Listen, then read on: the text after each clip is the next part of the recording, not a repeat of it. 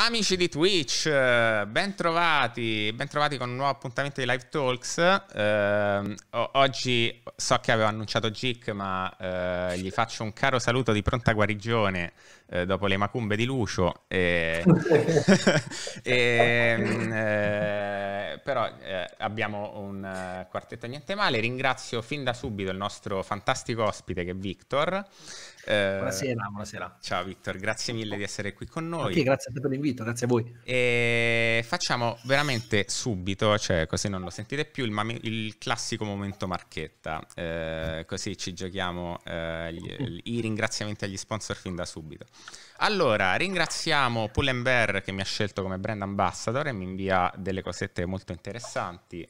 Uh, ringraziamo Amp che mh, mm, stessa cosa mi invia cose nerd e io impazzisco per quelle cose uh, molto spesso e soprattutto uh, a tema patriota abbiamo fatto una bella campagna promozionale Uh, vi ricordo che ho uno shop Amazon facendo parte dell'influencer program dove potete trovare l'attrezzatura che uso per lo streaming e i fumetti di cui abbiamo parlato nel corso delle live salotto a tema Marvel e DC, ma non solo. Uh, in pronta consegna che suggeriamo. Vi date un'occhiata perché ci sono veramente delle perle a livello fumettistico. Uh, novità importante, uh, abbiamo aperto un nuovissimo sito web molto molto bello uh, che potete andare a vedere con punto esclamativo website. invece con punto esclamativo merchandising, vedete tutto il merchandising a tema Man Under Dude, ad esempio come questa felpa ricamata che però non è in vendita, è solo per noi che facciamo queste live, però ci sono tante altre cose molto belle. Eh, abbiamo altri tre comandi, ripeto, punto esclamativo Amazon per lo shop, punto esclamativo ospite per i riferimenti di Victor, eh, social, yeah.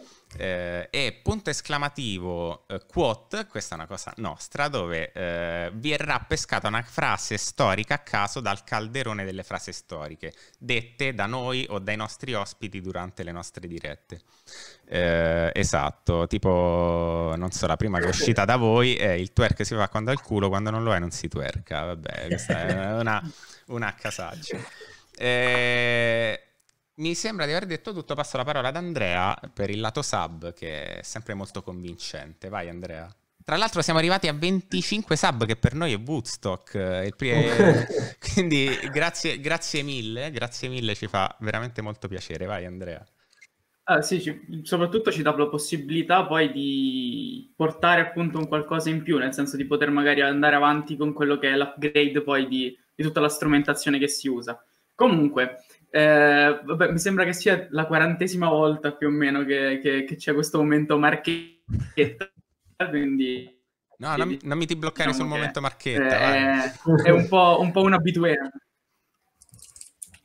No, no, no. Allora, ehm, ok ragazzi, allora tramite Amazon Prime potrete iscri- sabbarvi gratuitamente al canale, altrimenti ha un costo di 5 euro fino a 15 mi sembra in base al livello. Eh, I vantaggi sono fondamentalmente quello di non vedere la pubblicità durante la live e soprattutto quando abbiamo ospiti insomma, di questo calibro penso sia fondamentale non perdere la parte del discorso. Eh, il fatto di poter vedere le live anche a posteriori, quindi magari vi, non siete disponibili il lunedì, il martedì, potete recuperarla e poi gli sconti che ci sono sul merchandising di Mauro dal 5, 10 e 15%. Questo mi sembra, mi sembra tutto. Attualmente mi sembra tutto. Lu- Luca. Per ora, per ora, poi magari aggiungeremo altre cose, però per ora questo. Lu- Luca, innanzitutto Victor, grazie, grazie, mille. Luca, ma come c'è un ospite che assomiglia molto a Victor Laslo che segue un piacere su YouTube? È, ma pensa così, ironico. No, no, ma che ironico, lui è un nostro follower... Ehm, storico ormai, Luca. Eh, Beh, devo dire che effettivamente mi somiglia un sacco. Eh? Vero, vero. C'è un impersonator. In realtà abbiamo l'impersonator di Victor stasera, non ve lo vedete. Sì, sì, sì. Victor Official Impersonator. Eh, esatto. Esatto. esatto. Allora, quindi è lui eh, e passo subito la parola a Victor, nel senso Victor, allora io già, già ti ho ringraziato e quindi non vado so- oltre. Eh, noi abbiamo un, un'usanza nel salotto, noi iniziamo tutte le nostre live con gli ospiti dicendo per chi non ti conosce fai una breve descrizione, okay. ti lasciamo 4 minuti. Nel tuo caso, è, cioè nel vostro caso di questi format abbiamo persone molto di spicco, quindi è superflua, però mi piaceva lasciarla mi piaceva lasciarla cambiandola, cioè dicendo eh, descrivi Victor dal punto di vista di Victor, cioè come ti vedi tu? E sono un coglione, nel senso, no, vabbè, sono, sono, uno che boh, si è messo a parlare tanti anni fa, ormai quasi 12, su YouTube di quello che gli piaceva, che nel mio caso sono il cinema e le serie tv, e, e basta, la cosa mi è andata bene, è diventato il mio lavoro e adesso sono qua non so nemmeno io bene come, in che modo sia riuscito, ma, ma sono qua e vi ringrazio, rinnovo il, insomma, il ringraziamento per l'invito perché mi fa molto molto piacere essere in questo salotto stasera. Fantastico, poi noi siamo, noi siamo super nerd, quindi eh, ah, seguendoti abbiamo tantissime domande anche in riferimento a, c- a, film eh, che a noi hanno lasciato molto l'amaro in bocca e ci piacerebbe tantissimo avere un tuo, un tuo parere da, da esperto certo. a riguardo. E quindi, descrizione veramente eh, breve, però la mia curiosità è, sei stato sicuramente spinto da una fortissima passione all'inizio, no? Sì, nel senso che allora, c'è, mm, c'è, anche da fare una, una, precisazione. Quando ho iniziato io, eh, non esisteva ancora una vera e propria community di YouTube, si iniziavano a formare, mm, ad esempio, io ricordo che partecipai al concorso delle 3000 iscritti di Yotobi, quindi anche Yotobi all'epoca eh, era visto, ma per quanto potesse essere considerata vista tanto una persona su YouTube, mm-hmm. per dire che se facevi mille visualizzazioni eri già cioè, Gesù, proprio eri, eri un fico. Io seguivo Guglielmo Scilla all'epoca Will Wash da quando aveva 3000 visualizzazioni video e, e, per l'epoca sembravano tantissime. I Pantellas, mi ricordo, i Pantellas li seguivo da quando avevano 600 visualizzazioni per video Fantasy, sì, era. Era proprio una YouTube diversa, no? era mm-hmm. YouTube degli inizi, YouTube del 2009. Si sta parlando di una YouTube diversissima, perché poi ho iniziato un anno prima, cioè allora io ho iniziato nel 2010 con il mio canale, un anno prima facevo video con un mio amico, eh, eravamo in Mar di Matta, ma era un canale, eravamo noi che parlavamo dei fatti del giorno, ma era una cacata, però all'epoca era una cosa abbastanza diversa. Poi, parlando con mia madre a tavola, lei mi disse: Ma a te che piace il cinema, perché non puoi parlare di cinema su YouTube? Ho detto: Va bene, eh, non ha tutti i torti. Ho fatto un po' di ricerca per vedere ehm, se ci fosse già qualcuno che parlava di, di cinema su YouTube a livello mm-hmm. continuativo in Italia. Non c'era nessuno, ma mezzo, eh, non c'era, a parte io trovi che però lui parlava solo di film brutti, non c'era nessuno che parlasse continuativamente di film ehm, insomma, di film eh, in maniera seria, tra virgolette, cioè sempre magari eh, dal punto di vista dello spettatore come faccio io, però in maniera diciamo non comica. Mm-hmm. E allora ho iniziato, io facevo come, come ho sempre fatto, un video, un video al giorno come faccio tuttora, praticamente un video al giorno, tranne magari quando proprio non riesco che salto un giorno, ma è raro. E, ehm, e quindi eh, ho iniziato e mi ricordo che era estate 2009, girai il primo video, mi fece talmente schifo che dissi no, lascia stare. Avevo creato il canale ma era inattivo. Uh-huh. Poi eh, a gennaio era uscito Bastardi senza gloria, no, era uscito Avatar, scusami. È uscito Avatar e ho fatto la recensione di Avatar. Peraltro, l'unico giorno, l'unica volta in cui io Tobi ha fatto una recensione seria, l'ha fatta su Avatar. E io ho fatto il video lo stesso giorno, ma non conoscevo Yotobi, io Yotobi l'ho conosciuto perché è arrivata sotto la gente copione. Ma copione di che? Ma di chi, di chi, di chi sto copiando? Ma, ma non c'è nessuno, chi devo copiare? Esclusiva. Eh, però ho capito, eh, è iniziata così e poi pian piano si è creata la community, YouTube è diventata una, una realtà sempre più grande mm-hmm. fino ad arrivare a quello che è oggi. Però diciamo che ho avuto solo una grande fortuna di essere stato il primo. Cioè io, non ho, io non sono mai arrivato, non ho mai fatto niente per primo in vita mia tranne questo. È stata la mia più grande fortuna, sì. Beh, beh insomma, trovare, trovare, una fetta di mercato non ancora navigata è, è stato... Mm, sì, è, però è fortuna. Cioè, sono arrivato al momento giusto, però come ero io poteva farlo qualcun altro. Eh? Però, però hai avuto, cioè, la, la, fortuna, ma anche la... Cioè, sì, però eh, diciamo che questo... Mh, mm, cioè, hai trovato una fetta di mercato libera su una cosa sì, che sì. ti appassionava, cioè su quale... Allora, diciamo ti appassionava. Se proprio devo darmi un merito, eh. io, io, odio darmi meriti, ma se proprio dovessi darmi un merito è stato quello di averci creduto fin dall'inizio, di non aver mai mollato, perché io mh, ho visto, t- a me una cosa che eh, forse eh, è quello che più mi dispiace mm-hmm. aver visto su YouTube nel corso degli anni, è stato vedere persone molto dotate che hanno mollato per vari motivi. Poi per l'amore del cielo, la maggior parte di questi sono andati a fare magari quello che volevano, chi si è laureato ha trovato il mestiere della vita e quant'altro, mm-hmm. però è un po' un peccato perché secondo me c'è sempre quel momento in cui devi capire cosa fare. Continuo così o mollo un po'? Io non ho mai mollato, ma uh, ne parlavamo prima fuori onda. Ad esempio, io faccio anche un altro lavoro, sono talent manager in un network, un network si occupa di altri youtuber, e io faccio otto ore di lavoro per quello durante il giorno e però comunque ci butto dentro anche un video al giorno, le live su Twitch che comunque durano 3-4 ore, lavoro come una bestia, però faccio quello che mi piace, nel senso che eh, io a un certo punto arrivato ai 30 mi sono detto con YouTube mi va bene, mi mantengo più che bene, però non sai mai cosa può succedere perché così come è esploso, metti che finisce un momento l'altro, io spero di no. Secondo me ormai è molto solido, però mi sono voluto trovare un lavoro più tradizionale, mm-hmm. che comunque è sempre relativo a YouTube, però è pur sempre un lavoro d'ufficio ok? È una cosa particolare, è difficile. Quando devo spiegare a qualcuno che non se ne intende è un casino, perché non, non hanno idea di cosa stia parlando, però a livello di professione è eh, cosa fai? E lavoro, io poi lavoro quasi sempre da casa, però faccio un lavoro d'ufficio. Fanno, ah, ok. Perché se dici faccio lo youtuber, ti dicono, ah, mm, e di lavoro vero cosa fai? Eh, poi in realtà la mia occupazione principale è quella dell'influencer, perché è da lì che viene la maggior fonte di guadagno, ma poi anche la cosa che mi occupa mh, maggiormente proprio qua a livello di testa. Non è semplice conciliare tutto, però sono giunto alla conclusione che eh, tra le tante cose che si potevano eliminare, forse ho scelto quella più facile, cioè il sonno. Probabilmente non arriverò ai 40 in questo modo, però comunque per ora funziona.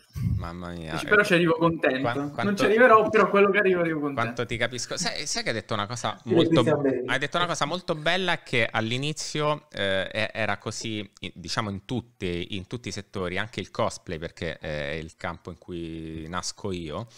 Eh, mm. Ossia, io ho ho una passione, voglio coltivare quella passione, vedo c'è eh, una possibilità e allora mi, mm, ci provo, no? Sì. Eh, invece adesso è tutto il contrario, cioè dimmi se anche tu noti questa tendenza. Adesso c'è quella cosa ha successo, a me non me ne frega niente, però dato che ha successo io voglio diventare famoso, mi ci butto anche se non sì. passione. Questo si vede, cioè nei tuoi video si vede quanta passione c'hai ah, in grazie. quello che fai. No, eh, cioè, no, almeno... sì, eh, che alcuni lo vedono solo come un lavoro, però sono bravi a farlo. Alla fine non è che, diciamo che non è, non è obbligatorio andare su YouTube per passione. Eh, non mi fanno impazzire eh, le content farm. Quelle mm. sono una cosa che mh, mm, io non, non, apprezzo, però hanno trovato, sono quelle content farm, per chi non lo sapesse, sono quei canali, tipo, non lo so, quei canali che... Mh, mm, che ti non so, quelli che ti fanno i life hack, okay? Ah, ok? Quelli che fanno vedere il vino che cade sul tappeto, che non si vede mai una persona, si vedono solo le mani e ti fanno vedere come smacchiarlo e sono evidentemente cose molto spesso che non funzionano uh-huh. eh, e che sono quei contenuti che però sono fatti, mh, mm, non so se avete visto come li fanno, hanno, perché sparano fuori un sacco di contenuti, hanno questi stanzoni tipo hangar con una marea di tavoli con davanti eh, a ciascun tavolo la macchina presa con ring light e degli operai, nel senso proprio persone, che si mettono lì e fanno queste cose inquadrandosi le mani. Sono proprio, si chiamano content farm, cioè le, le, mh, le fattorie, gli allevamenti di contenuti, proprio perché sono contenuti che sono fatti esclusivamente per business.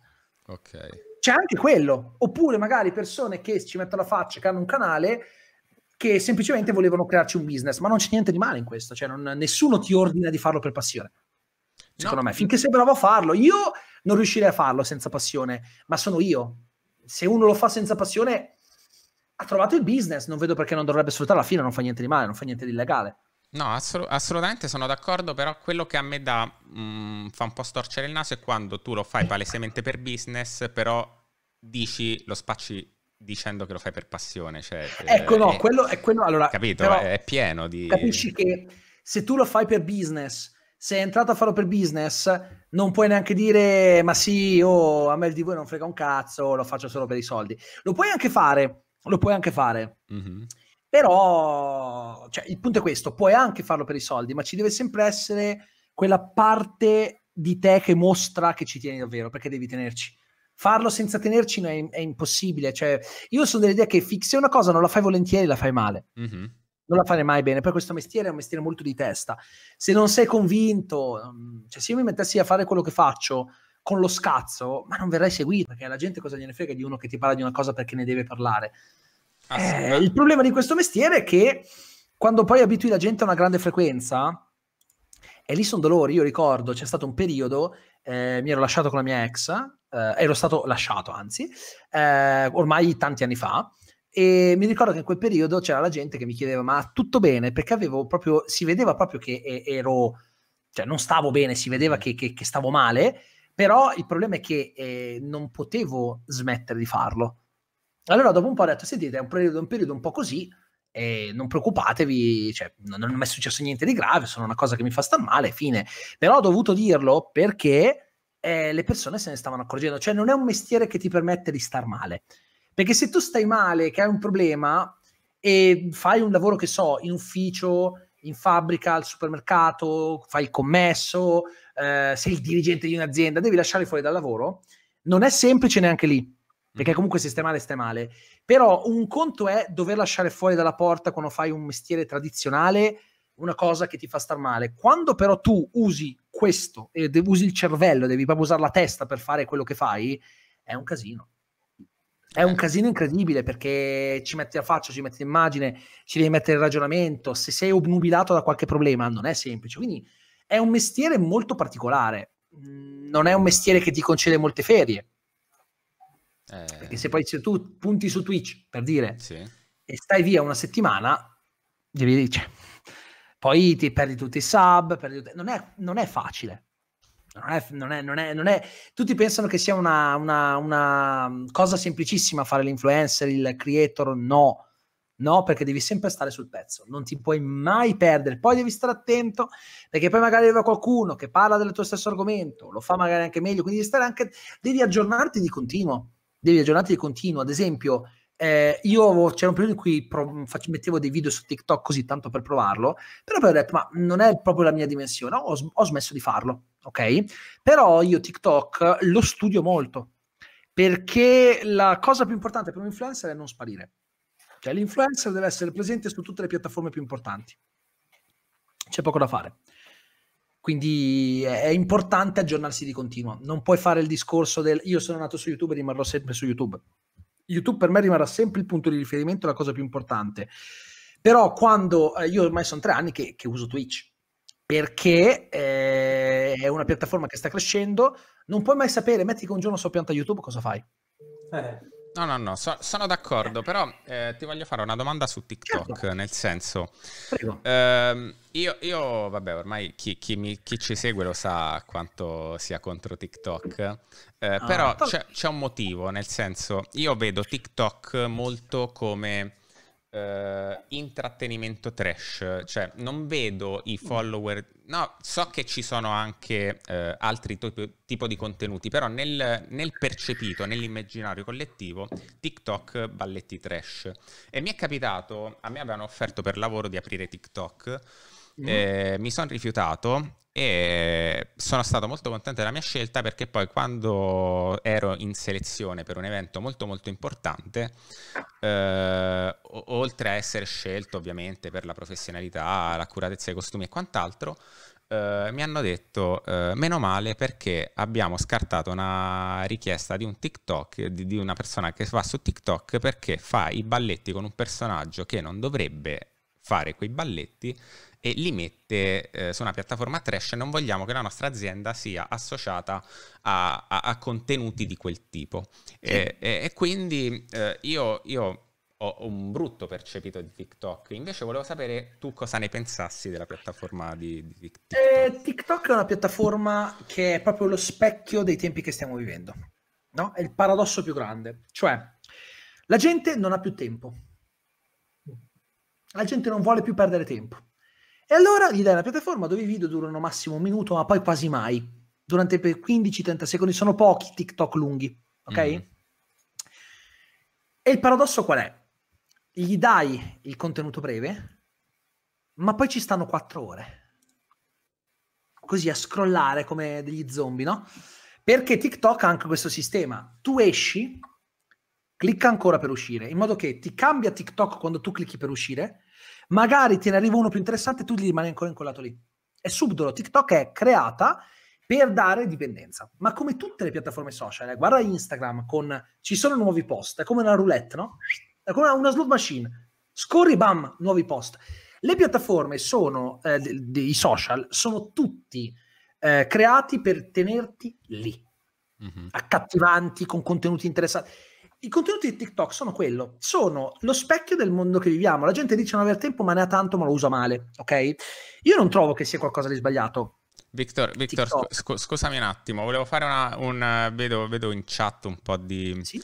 Di, di, di, di, fraintendimenti. Allora, ragazzi, i moderatori hanno eh, il compito di avere, uh, di, di mantenere in chat eh, una atmosfera il più cordiale possibile. Quindi noi mh, non so se, se, ci seguite o meno, però eh, è molto, molto, siamo molto rompi, rompiscatole su questa cosa, quindi è, è anche poco tolleranti. Non, io ringrazio dei complimenti che, che, che sto vedendo. Dopo qualche commento, qualche domanda, sicuramente le domande, soprattutto le domande, le, le, ci focalizzeremo l'attenzione, però non possiamo ogni commento interrompere eh, quello che stiamo dicendo perché sennò eh, ovviamente il discorso non è, è, anche brutto.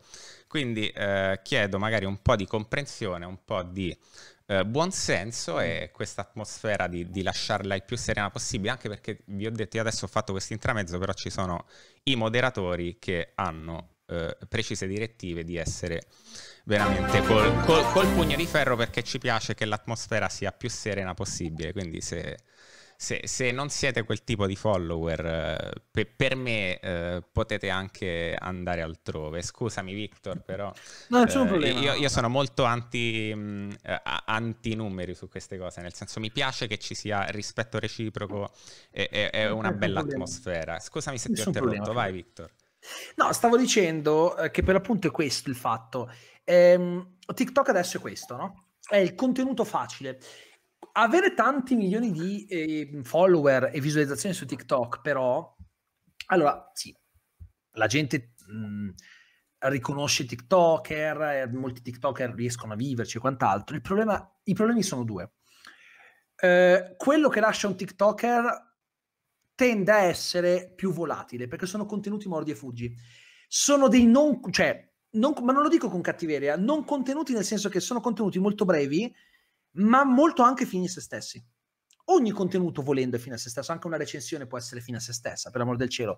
Però ho capito, la traccia che lasciano, magari lascia di più il fatto che il TikTok ti distrae. E quindi intratte- sono comunque intrattenitori, io ho grande rispetto per i TikToker. Però l'altro problema è che sì, è vero che ci sono anche adulti su TikTok, però diciamocelo, l'utenza maggiore è ragazzini. Io vorrei capire il ricambio. Mm-hmm. C'è ricambio dell'utenza di TikTok? Cioè TikTok mi dà l'idea della classica piattaforma che non può fisiologicamente perdurare nel tempo. Anche perché secondo me tra un po' verrà soppiantato dai reel su Instagram, che sono la stessa cosa, ma piacciono anche agli adulti perché trovano più contenuti adatti a loro. Okay. Instagram ha il dovere preciso di fagocitare tutti i social quando ha copiato le storie da, insomma, le, sì, le storie da Snapchat, tutti, ah, che sfigati, copiano, copiano. Come è andata a finire? Che le storie su Instagram hanno, che erano una copia di quelle di Snapchat, lo hanno mangiato, è ancora usato negli Stati Uniti d'America, per l'amor del cielo, mm. ma non è assolutamente al pari di Instagram. All'inizio Snapchat sembrava la rivoluzione, Instagram ha messo le storie. I reel all'inizio duravano 15 secondi, adesso dura 30 secondi, ancora sono buggati. Quando li sistemano, secondo me pian piano l'utenza che prima guardava TikTok si sposta su Instagram perché lì i reel offrono contenuti più fruibili anche dagli adulti. Molto spe- all'inizio erano quasi tutti i contenuti TikTok ricaricati su Instagram, adesso ne vedi di meno. Adesso sono quasi la maggior parte sono reel creati per la sezione reel. È fisiologico, è completamente fisiologico. Mm-hmm. Cioè non è, come la, non è come l'Instagram TV che è andata, ma non, non come volevano loro qua si parla di, una, di, di, di un tipo di, di, copia, tra virgolette, che è integrata al social più potente del mondo. Quando i ragazzini crescono, secondo me non usano più TikTok, tanto i reel sono su Instagram. Se sei su Instagram per farti i fatti tuoi, li vedi comunque. Quindi non adesso, eh, però secondo me nella, nell'arco di un annetto iniziamo già a vedere uno spostamento. Poi magari mi sbaglio io. Però io non ho niente contro TikTok. È un, è, è un social, come, come, tanti altri social che arriveranno, no? Eh, mm-hmm. Ci sono quelli che ti sembrano delle cagate. TikTok inizialmente sembrava una cavolata, poi invece è diventato forte. Ma secondo me è una tigre di carta. TikTok, cioè sembra tanto forte, ma non ho l'idea che non durerà più di tanto. Vorrei ricordarci, poi tra altre cose, una cosa che mi ha sempre fatto ridere è il fatto che la gente veda TikTok come una rivoluzione. Ma io dico, ma tutte queste persone, quando c'era Vine, ma dove erano? Altro social che è stato ammazzato da Instagram. Mm-hmm. Instagram lo ha, lo ha, ammazzato, Vine ha chiuso, non c'è più Vine. Ammazzato, ammazzato completamente da Instagram. Sì, Stessa ma... cosa, secondo me TikTok ci vorrà più tempo, ma alla fine io penso che rantolerà anche lui. Ma non lo dico con cattiveria, cioè ripeto, io non ho niente, cioè, secondo me rispetto per i creatori di contenuti su TikTok, perché alcuni sono veramente bravi. Io rispetto i creator di qualunque piattaforma, perché per fare questo mestiere ci vuole caparbietà e quindi riuscire a diventare ehm, a fare del proprio lavoro una cosa del genere sfruttando la, la, la popolarità che certi video hanno presso la propria utenza, eh, mh, diciamo che richiede una mentalità imprenditoriale e quindi io rispetto i TikToker da quelli più piccoli, anzi, tanto di cappello che ci sono ragazzini di 14 anni che hanno fatto una roba del genere. Ragazzini di 14 anni con milioni di follower, ma tanto di cappello veramente. Io gli auguro che duri per tutta la vita. La, la sensazione che ho io è che TikTok non andrà a durare tantissimo. Però magari mi sbaglio io, eh? può essere. Ah, ok. No, poi, poi alla di... fine è come lo stesso Snapchat che era nato, è stato anche quello assorbito da, dalle storie Instagram alla fine. Sì, perché io, io magari poi no, eh, magari poi TikTok si mostrerà solidissimo, non lo so. Eh, però è un, secondo me è un social che proprio per sua natura scricchiola le fondamenta. Quanto potrà andare avanti questa cosa del, il, del social basato su contenuti così brevi? Dopo un po' è ripetitivo, stufa. Tra l'altro, altra cosa, altra cosa, TikTok ha lo stesso problema, che però non è un problema, però ha la stessa cosa di Instagram. Instagram ormai da molti viene usato come alternativa a certi siti dedicati al piacere autarchico, diciamo, perché eh, girano sempre più foto di nudo quant'altro, nudo sempre censurato, però, ma perché? Perché, a parte il fatto che io trovo che non ci sia niente di male, cioè io vedo tantissime, io guarda, vedo un sacco di modelle, ok, che fanno foto molto esplicite, che vengono insultate. Ah, come ti permetti? Ma cosa dicono i tuoi genitori? Ma che te frega, sta mica facendo niente di male. No, io è una cosa che non capisco, però ho notato che questo tipo di contenuti sono diffusissimi su Instagram e su TikTok. Perché? Perché il vedo non vedo è molto più eccitante del nudo e del, insomma, dei de, de contenuti più espliciti. Il problema è che secondo me sta un po' divorando quello che, eh, che sono questi, questi, social, lo sta un po' divorando. Io noto nei commenti a TikTok un sacco di genitori che dicono, eh però queste porcherie, qua ci sono anche dei bambini, giustamente dicono a, a, a, tuo figlio, se tuo figlio non guarda questo tipo di contenuti, vai tranquillo che l'algoritmo di TikTok teoricamente non glieli fa arrivare, se li vede perché vuol dire che ne ha già visti altri dello stesso tipo. Mm. Certo. E questo, sì, è questo il fatto. Quindi in realtà eh, non, non, nessuno fa niente di male, però noto che TikTok ormai è sempre più affollato da contenuti di questo tipo ed è successa la stessa cosa a Snapchat, che a un certo punto veniva utilizzato soprattutto per, per, per quello, veniva usato molto anche dalle, dalle attrici hard eh, Snapchat, prima che arrivasse OnlyFans. Quindi devono stare attenti non a limitare i contenuti, ma a differenziarli il più possibile, perché altrimenti rischia di diventare una piattaforma dove va solo gente che vuole vedere eh, belle ragazze, bei ragazzi, fregandosene del contenuto eh, ulteriore, del contenuto diverso. È stata la sorte di tanti social che sono spariti poi. Devono stare attenti a quello. Oh, ok, ok, chiaro. Eh, eh, in chat eh, Emagrelli dice Buonasera, occhio a Instagram che sta mettendo la monetizzazione anche nelle dirette con la possibilità di supportare i creator con abbonamenti. Non so se ne avete eh già parlato. Eh, ma da noi c'è già questa cosa qui? Perché eh, non ce l'hanno tutti, se non erro. Ma io, no, io non lo sapevo. Poi, poi, Instagram ha quel limite incredibile di un'ora di diretta e poi ti blocca e poi devi ricominciare. Cioè, secondo me Instagram è quello meno user friendly per, per le dirette. Ma trovo. poi sai, la diretta da telefono con un audio che non è mai... Non, cioè, poi... Allora, va bene per... Il punto è questo. Secondo me, ora come ora, se devi fare delle dirette, Twitch è la cosa migliore. Mm-hmm. È la cosa migliore perché allora, non che YouTube non vada bene per le dirette, va bene, però YouTube non è nato per i video. Cioè, non è nato per, le, per, le, per gli streaming, è nato per i video. Twitch è nato con, preci- con, il preciso scopo di permetterti di streamare. Va da sé che l'ottimizzazione è maggiore, è molto più semplice su Twitch. È molto più intuitivo. Sì, il, usi... piccolo mercato viene distrutto. Il piccolo mercato così viene distrutto da Instagram perché se inizi a integrare tutto, è vero, la live la fai su Twitch, i video li carichi su YouTube, ma se io inizio a integrare TikTok, Snapchat, con altri nomi, però in realtà sì, facendo... vabbè, ma i risultati sono quelli, cioè i reel, ma cioè, io non so voi, ma chi Sì, però c'è da dire una cosa, no? C'è da dire una cosa. Mm, su Twitch hanno, sono molto lungimiranti. Se sei partner Twitch, tu non puoi fare dirette altrove, neanche su Instagram. Perché? Tu dici, ma cosa te ne frega? Perché sapevano perfettamente che prima o poi sarebbe arrivata questa possibilità. Eh, io personalmente ti dico, eh, se diventa anche conveniente le farei anche su Instagram se, se si potrebbe io sono partner su Twitch quindi non le, farei su, non le farò su Instagram ma eh, è ovvio che se Instagram diventa il top per le dirette la gente si sposta lì perché eh, cosa devi fare? Io francamente la vedo molto dura perché sono live fatte col telefono. Eh sì. a meno che non la, non la mettono anche per desktop con le stesse funzionalità di Twitch ma ti voglio. Mm. cioè, ora che lo fanno sono passati vent'anni secondo me non Sì, anche perché insomma consideriamo sempre che Instagram comunque fa parte della grande casa Facebook, quindi è un'azienda sì, sì. sì, abbastanza grossa, però che ha già superato i suoi dieci anni di vita, no? Che sono quelli classici per un social. Dieci anni sì. basta, dieci anni basta, dieci anni basta, quindi è un Beh, po' difficile. Basta vedere Facebook, Facebook ormai non... Cioè, sì, lo si usa, ma... È morto, è un è social... Morto, sì. Mm-hmm. Cioè, no, è morto, morto magari no, però non è più, cioè, non è più il social di riferimento. Ormai il social di riferimento sì. è Instagram. Ma guarda che tra un po' arriverà un altro social che sarà il social di riferimento. Niente dura per sempre. YouTube sembrava incrollabile, è arrivato Twitch, migrazione. Addirittura gente che ha smesso con YouTube e ha iniziato con Twitch. Io non lo farei mai. Io non, non, non toglierei mai YouTube. Eh certo, cioè, per, eh, me... sono due cose di, comunque diverse. Sì. Diciamo è anche una sorta di core business YouTube, no? Cioè, non... Assolutamente, per me sì, per, nel mio caso specifico. Esatto. Quindi, 100%. Però, però è, è, bella questa cosa che, che, che, ti studi meticolosamente anche le altre opportunità di social che, che gli altri social offrono. Perché, ripeto, l'influencer dovrebbe avere il preciso compito di non sparire dai radar dell'utenza.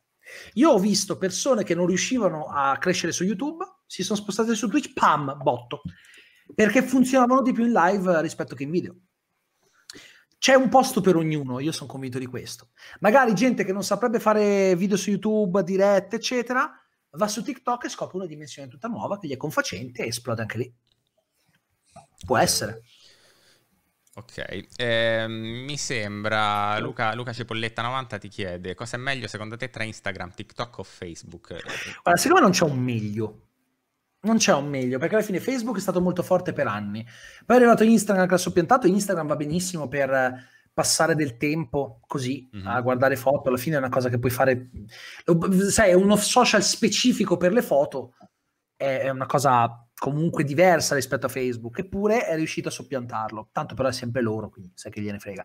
Um, TikTok, come dicevo prima, è una cosa ancora diversa. TikTok lo vedo come più... Um, TikTok è più ammaliante, capito? Ho del tempo libero, ho 20 minuti, cosa faccio? Mi guardo un video, mi guardo qualche cagata su TikTok. Cagata nel senso, non per, non per denigrare, no aspetta, non per denigrare i contenuti sì, su TikTok, sì, nel, nel, senso, no, no, io ho sentito molte cose facciamo, mi guardo qualche cagata su TikTok, e poi non sono cagate, cioè, sono anche, molti di quelli sono video per cui ci si mette molto tempo, a discapito della durata breve, perché è facile dire... Faccio, ci sono i TikTok un pochino più alla, alla buona e TikTok sono veramente studiati bene. Quindi mi guardo qualche, qualcosina sui TikTok, capito? Però contenuti che magari non ti rimangono in testa, no? Mm-hmm. Li vedi, ti passano davanti, ti passano davanti, ti fanno passare il tempo. È, qua, è quasi una droga, eh? da quel punto di vista. È studiato per essere quello alla fine, per essere una, una, qualcosa che ti crea la dipendenza, come si diceva prima. Sì, sì, sì. Eh, io, io, non rie- io, io, sinceramente non riesco a prenderlo sul serio una piattaforma come TikTok. Cioè, ci sono tanti tipo Monti, no? Eh, ne parlavamo con mm. Andrea, che offrono veramente cose interessanti, però secondo me si perdono molto all'interno del, del marasma. Cioè, a me... No, no, dipende, dipende anche se l'algoritmo funziona in maniera strana. Io ti dico, eh, secondo me, sì. ok, è un social molto furbo perché è proprio è la massima espressione del diventa famoso così, Con che poi non è mai così, perché non è mai così, non mm. diventi mai famoso, poi famoso. Io so la, fama, la fama per me è altro, ma, ma, ma parlo anche per me, eh? cioè quando mi dicono che sono famoso dico ma dove? Ehm, parlo soprattutto per me, io poi tante cose su YouTube non è che ho un miliardo di iscritti, un milione di iscritti, no, 200, che mi, fa, mi va bene, per il mio ambito sono anche tanti, Però da lì a dire sono famoso, calma. Però capito, su TikTok c'è gente che lì è veramente famosa, milioni di iscritti, ma non è così, perché sembra sempre così. Prendo il telefono e faccio TikTok. C'è uno studio dietro, cioè per funzionare su TikTok tu devi aver capito perfettamente cosa vuole l'utenza, non è semplice. Non è assolutamente semplice. Io ci ho provato, io su TikTok ad esempio non funziona, mi sono reso, mi sono reso conto. È troppo distante dalla mia forma mentis Ah, ok. TikTok. Quindi io, è per quello che io stimo chi riesce a costruirsi una carriera su TikTok, perché è molto più difficile di quello che sembra. Molto più difficile. Assolutamente, no, no, no, quello non lo metto in dubbio, anche perché eh, a parte rarissimi casi, no, dove è solo questione di fortuna, molto spesso dietro, e adesso parlo, mh, cioè uno, YouTube fa un lavoro, uno youtuber fa un lavoro incredibile secondo me, perché una volta per diletto mi sono messo a montare un video, ma ci ho messo tipo 10 ore, è venuta una schifezza eh, e neanche Eh. l'ho, l'ho- pubblicato, cioè quindi immagino, Victor, tu quanto tempo debba dedicare a un montaggio professionale, a, a- comunque dire... No? Eh, cioè- è- no, ma molto No, spesso no. nell'immaginario collettivo, eh, vabbè, si mette davanti alle videocamere a fare video, ma non è assolutamente così. oh, trovare un contenuto, io ad esempio io metto un video al giorno, trovare un contenuto al giorno. Poi io parlo di cinema, i cinema sono chiusi da, è da ottobre che c'è stata, io, io que- quest'anno Sì. ho fatto, il canale ha avuto un'impennata incredibile, pur essendoci stati in un anno almeno 6 o 7, no di più, Mm. sì, 7 mesi di 6, 7 mesi di cinema chiusi. Perché c'è lo streaming, però ho capito, ti devi anche reinventare. Io mi sono ho dovuto a tem- in tempo zero capire come trasformare il canale in quel periodo lì. Devi farlo con una lucidità incredibile, devi capire subito cosa fare. Non escono film eh, che, che interessano a tanti, benissimo, inizia a fare le classifiche, Mhm. inizia a approfondire questo aspetto, queste notizie che sono uscite. de- devi- il canale è leggermente cambiato, meno recensioni, più contenuti generici sul cinema, magari più classifiche di un'ora, ma con de- in cui parlo di 20 film. E la gente è contenta. Capito? Continua a fare le recensioni, però ovvio che meno roba esce, perché poi magari esce roba, ma meno, è meno interessante la recensione perché è roba che sì, va bene da guardare in quel momento, ma non interessa molto a livello di opinione, ok? E allora devi selezionare i contenuti, è difficile, non sono usciti blockbusteroni, Sì. a parte qualche film, e quindi io do- ho dovuto all'improvviso adattarmi alla situazione. Non è semplice. Cioè, sì, e lì, lì era un attimo sbagliare e, and- e crollare dall'altra parte. eh. Quindi sì, c'è stato lo anche- stesso, problema, lo stesso problema poi dei cinema a tutti gli effetti, no? Perché eh, il cana- un canale come il tuo, che comunque sia naviga su film in uscita, come un cinema che investe tanto in un certo senso per la promozione di quel film, poi si ritrova il film posticipato, annullato, roba del Eh, genere. no, e no, fa, ma, ma eh, hai, ma hai ragione, è difficilissimo.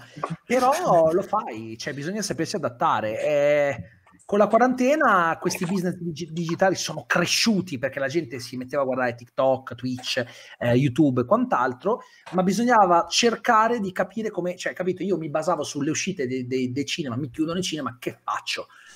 Allora io subito, eh beh, no, ma io subito, ti faccio un esempio, Sì. immediatamente appena hanno chiuso il cinema, io tipo il giorno stesso ho fatto uscire un video eh, in cui consigliavo quali film guardare su Amazon Prime Video e Netflix eh, con la chiusura dei cinema.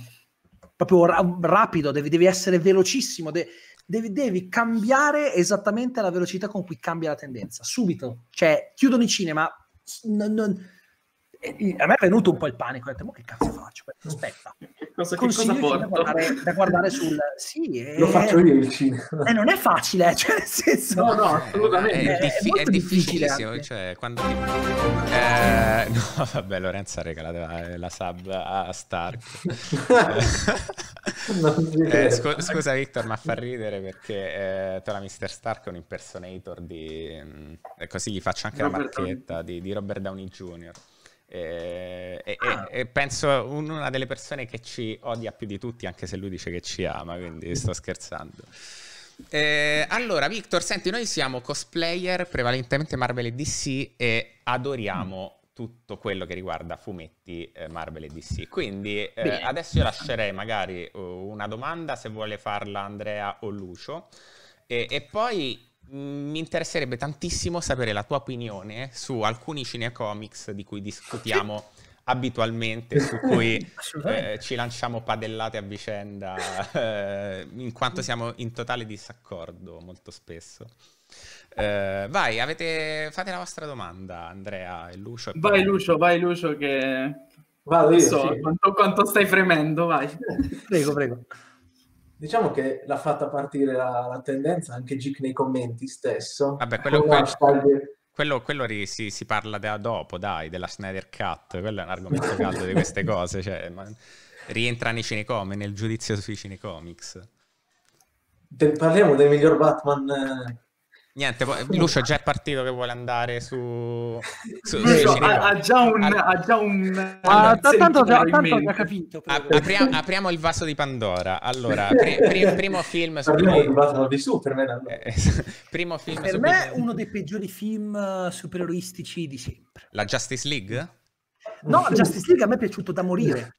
Ah, ok, Io quindi... sono uno dei 12 in Europa che l'ha, l'ha amato quel film. Siete così tanti.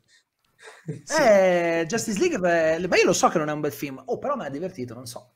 Ma mi ha- io, addirittura, io addirittura per la Snyder Cut impazzisco. Io pensavo che parlavi di Batman v Superman, perché Batman v Superman orri- no, Batman v Superman per me è orripilante perché Snyder, Snyder dovrebbero prenderlo e allontanarlo il più possibile da tutto ciò che è eh, DC eh, ed è un paradosso perché ad esempio io lo Snyder Cut lo voglio vedere, sono curioso. Ah, ok. Probabilmente mi farà cacare perché a me tutto quello che Snyder ha fatto, tipo io Man of Steel, quando è uscito Man of Steel, io, io stavo schiumando.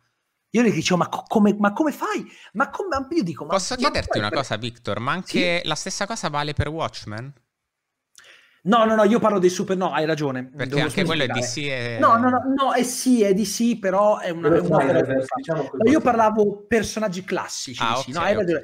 Watchmen, io lo- allora, Watchmen è sempre stato apprezzato. A un certo punto è una schifezza, ma perché?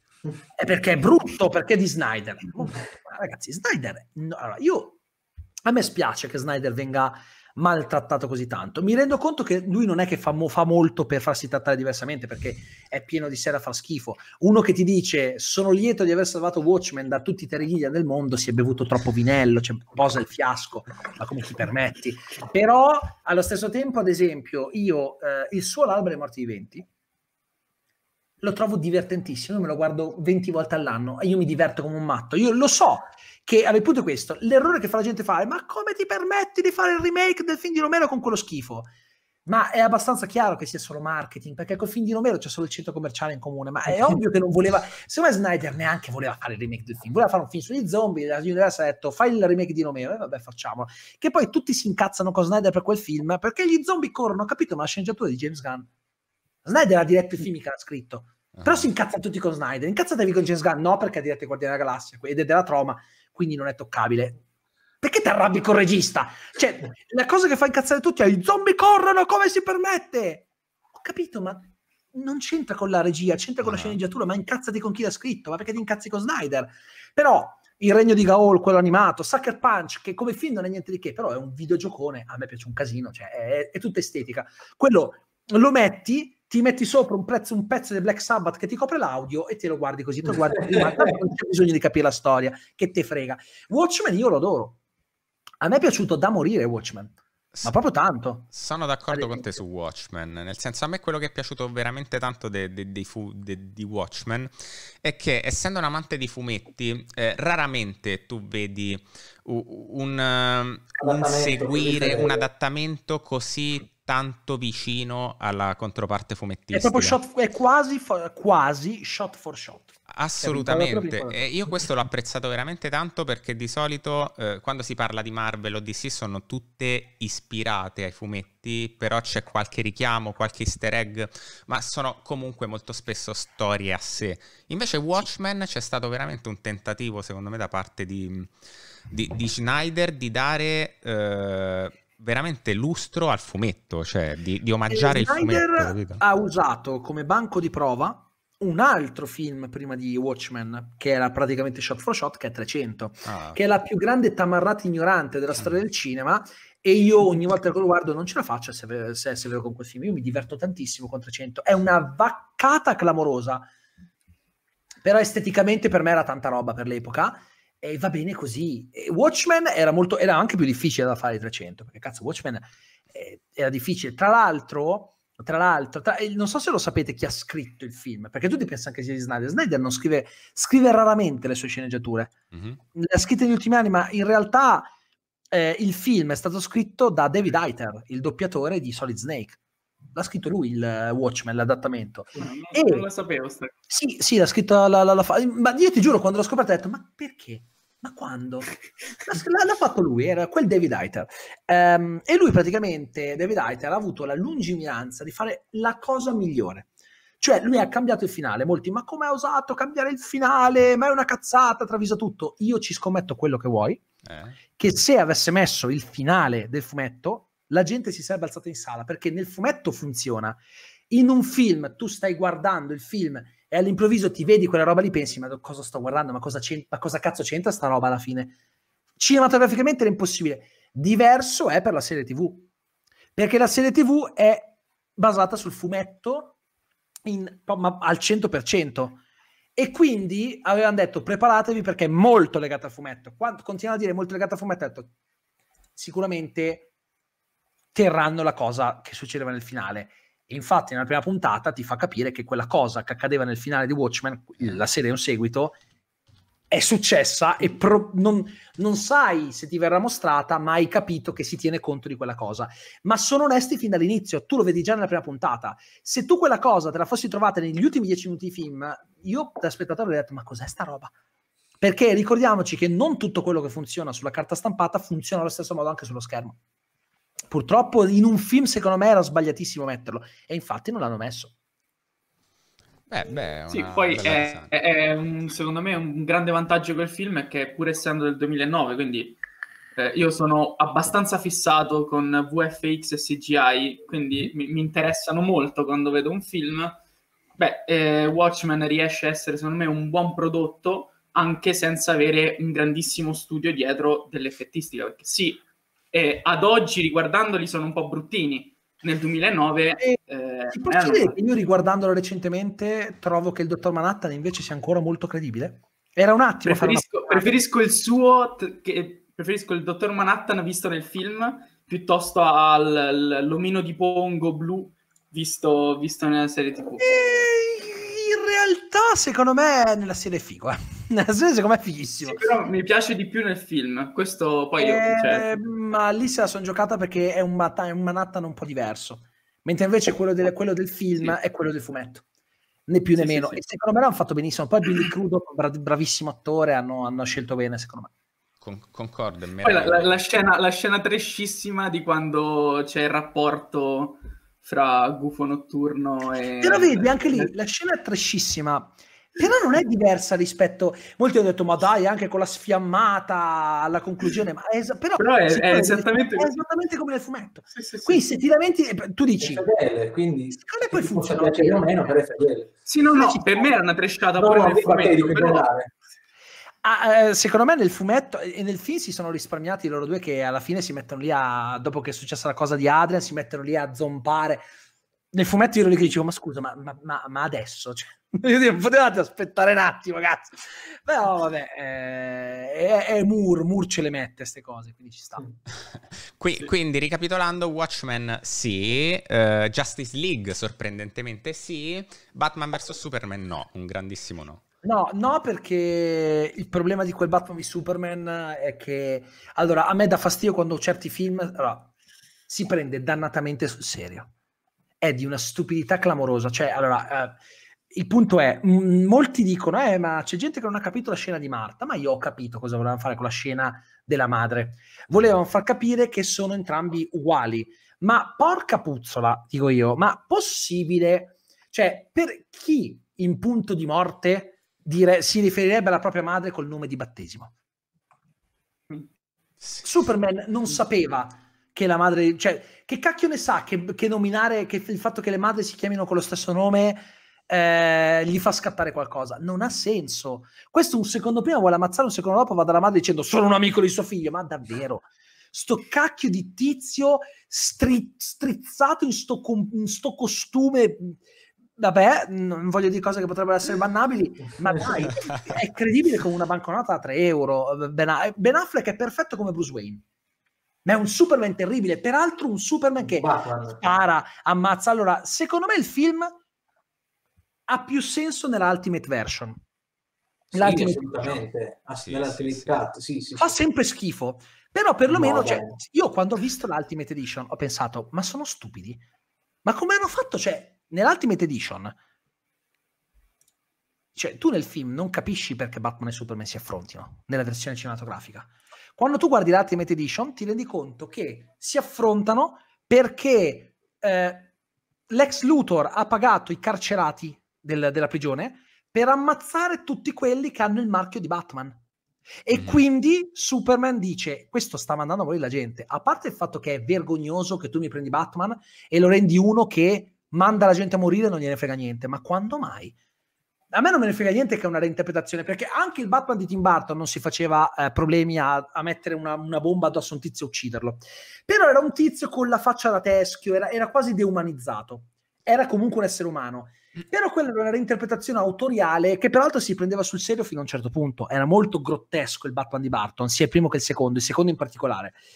Quello di Snyder vuole fare lo pseudo-realistico, a parte il fatto che, ad esempio, non lo so, eh, Gotham e, e Metropolis sono proprio in, in faccia all'altra. Dici, ma da quando? Ma, Cioè, sono lettere- eh, eh, Metropolis è letteralmente dall'altra parte del fiume. E dici, vabbè, ok. Ma poi, ma poi voglio dire, anche tutto il finale, cioè, cosa mi significa fare quella cosa e mettermi quella scena, proprio l'ultima inquadratura prima, di- prima che finisca il film?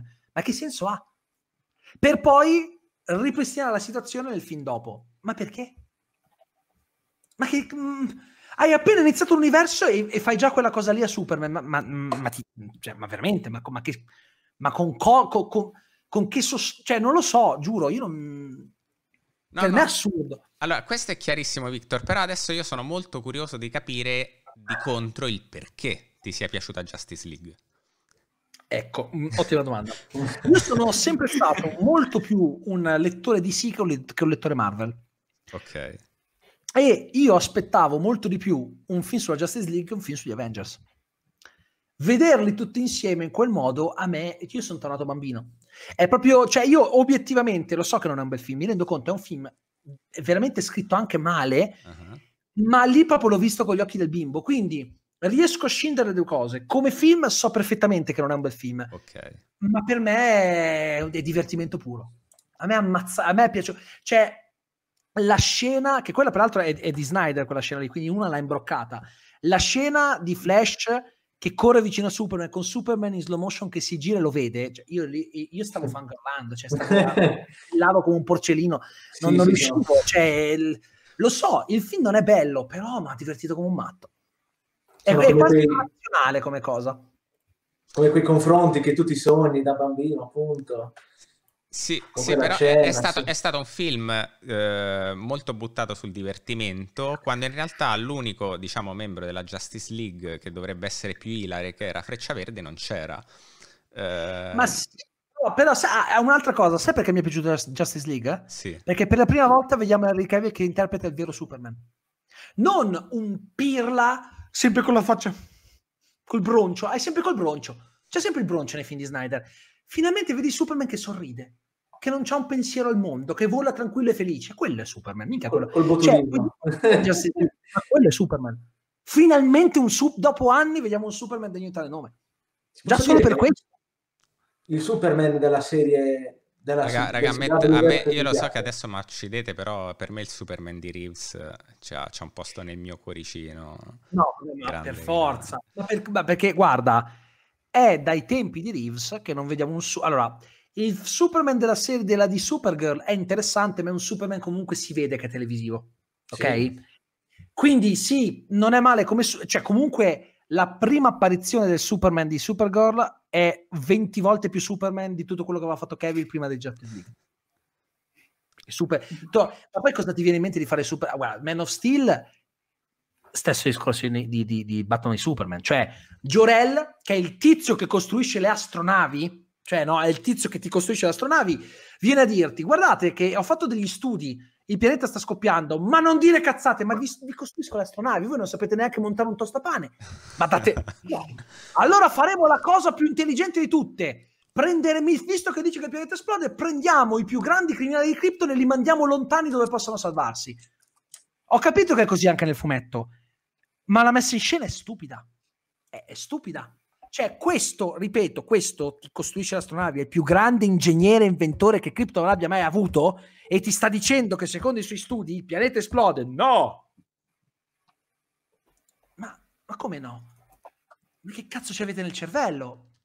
Però eh, secondo me è assurdo, però non lo so. Cioè, ma poi quel film lì è tutto assurdo. Cioè, un Superman, cioè anche lì la scena del padre di Jonathan Kent, ma quanto è stupida che muore lì sotto la bufera per, per salvare il cane. Ma ti prego, ma, che, ma dai, ma, ma, ma, che, che, roba brutta usare così Jonathan Kent. Peraltro, lui si è, fatto, si è lasciato morire perché il figlio non, vo- perché non voleva che il figlio si mostrasse e il film inizia come proprio letteralmente l'inizio del film è lui che si mostra mentre solleva una petroliera. E per cosa è morto quel povero Cristo? Non, io, io, io in sala dicevo, ma cosa sto guardando? Ma perché? Al... Cioè? Victor, adesso colgo l'occasione che ho visto una domanda al volo adesso, eh, che io faccio spesso ed ho fatto anche la scorsa live a Alessandro Bottero, che eh, un editore Playpress e traduttore di testate fumettistiche del calibro del Ritorno del Cavaliere Oscuro di Batman. Lo conosci? O- ok, e gli ho fatto questa domanda. Chi è? Ok, e, ti faccio, e gli ho fatto questa domanda che mi, di solito faccio, su cui ho una mia idea che lui mi ha smontato, però non sono ancora molto convinto. Mm. È più, cioè, secondo te, una batta- in una battaglia tra Superman e Patriota, chi ha la meglio? Patriota. E perché? Patriota. Perché non gli fa la, non gli fa la cortesia. Io, io Superman, io Superman, non, Superman non lo ammazzerebbe mai, Patriota sì. A eh. parità di... sono lo stesso personaggio. Sono lo stesso identico personaggio. La differenza, il punto è, ehm, Patriota, se vogliamo, è praticamente Zod. È uno, Zod, è uno Zod un po' più forte, perché alla fine è, sì. sono due kryptoniani. Quindi teoricamente Secondo me Patriota è più psicopatico, però anche lì è, okay. è talmente psicopatico che potrebbe commettere degli errori. Superman è più lucido. Quindi se super, cioè il punto è quello, è in, uno, in, uno, scontro del genere deve per forza ammazzarlo. Io infatti in Man of Steel sono d'accordissimo che Superman ammazzi Zod. Tutti dicono è, in, è indegno, no, perché lo, lo, ammazza piangendo, lui non vuole ammazzarlo, ma ha capito che non può fare altrimenti. Quindi o abbiamo un Superman che è disposto a ammazzarlo oppure vince, Zod, vince Patriota, secondo me. Io sono completamente d'accordo con te, anzi ti dirò di più, cioè Patriota eh, non ha debolezze fisiche, Superman ha quella della criptonite verde, cioè nel senso, beh, Patriota se si rimedia a un piccolo pezzettino di, di criptonite verde sa cioè non si fa scrupoli un secondo eh... no, ma noto che in chat qualcuno dice Superman è una forza maggiore, ma secondo quale base? Scusami, dove l'hanno sì, detto? No, poi, poi, poi, poi, lo dice Jaydaru che io e lui abbiamo avuto discussioni infinite su sta cosa. No, ma è lo stesso, identico personaggio. Sì, ad- adesso lui ti prende le statistiche di forza 95 del ma, ma quali? Su quale base? Cioè, non esiste una base scientifica per fare il raffronto. Però invece eh, Bottero sosteneva che eh, per lui vince Superman in quanto eh, è tutto vero quello che stiamo dicendo, ma Patriota ha una psiche talmente labile che qual, qual, era la motivazione? Era la psiche, cioè eh, il fatto di avere una psiche talmente labile, un comportamento da bambino non cresciuto, psicobullo, che in qualche modo Superman eh, ne avrebbe tratto vantaggio per, eh, per, vincere. Io penso di no, perché ha una psiche devastata, patriota ma intelligente, e quindi la prima cosa che farebbe sarebbe iniziare a ammazzare civili. Quindi lo, lo metti in crisi in quel modo. Basta, basterebbe anche solo eh, far crollare un palazzo dove c'è della gente, Superman andrebbe a salvarli. E quindi approfitta della distrazione e lo secca. Superman, se in uno scontro il nemico inizia a ammazzare i civili, lui si sposta e li va a salvare.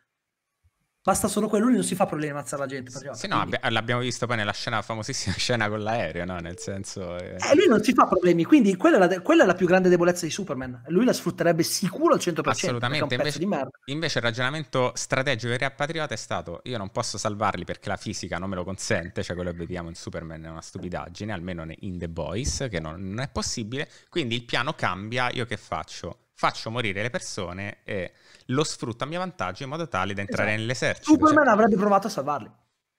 Non li avrebbe mai lasciati morire deliberatamente. Quella, la, la, debolezza di Superman è quella che è buono.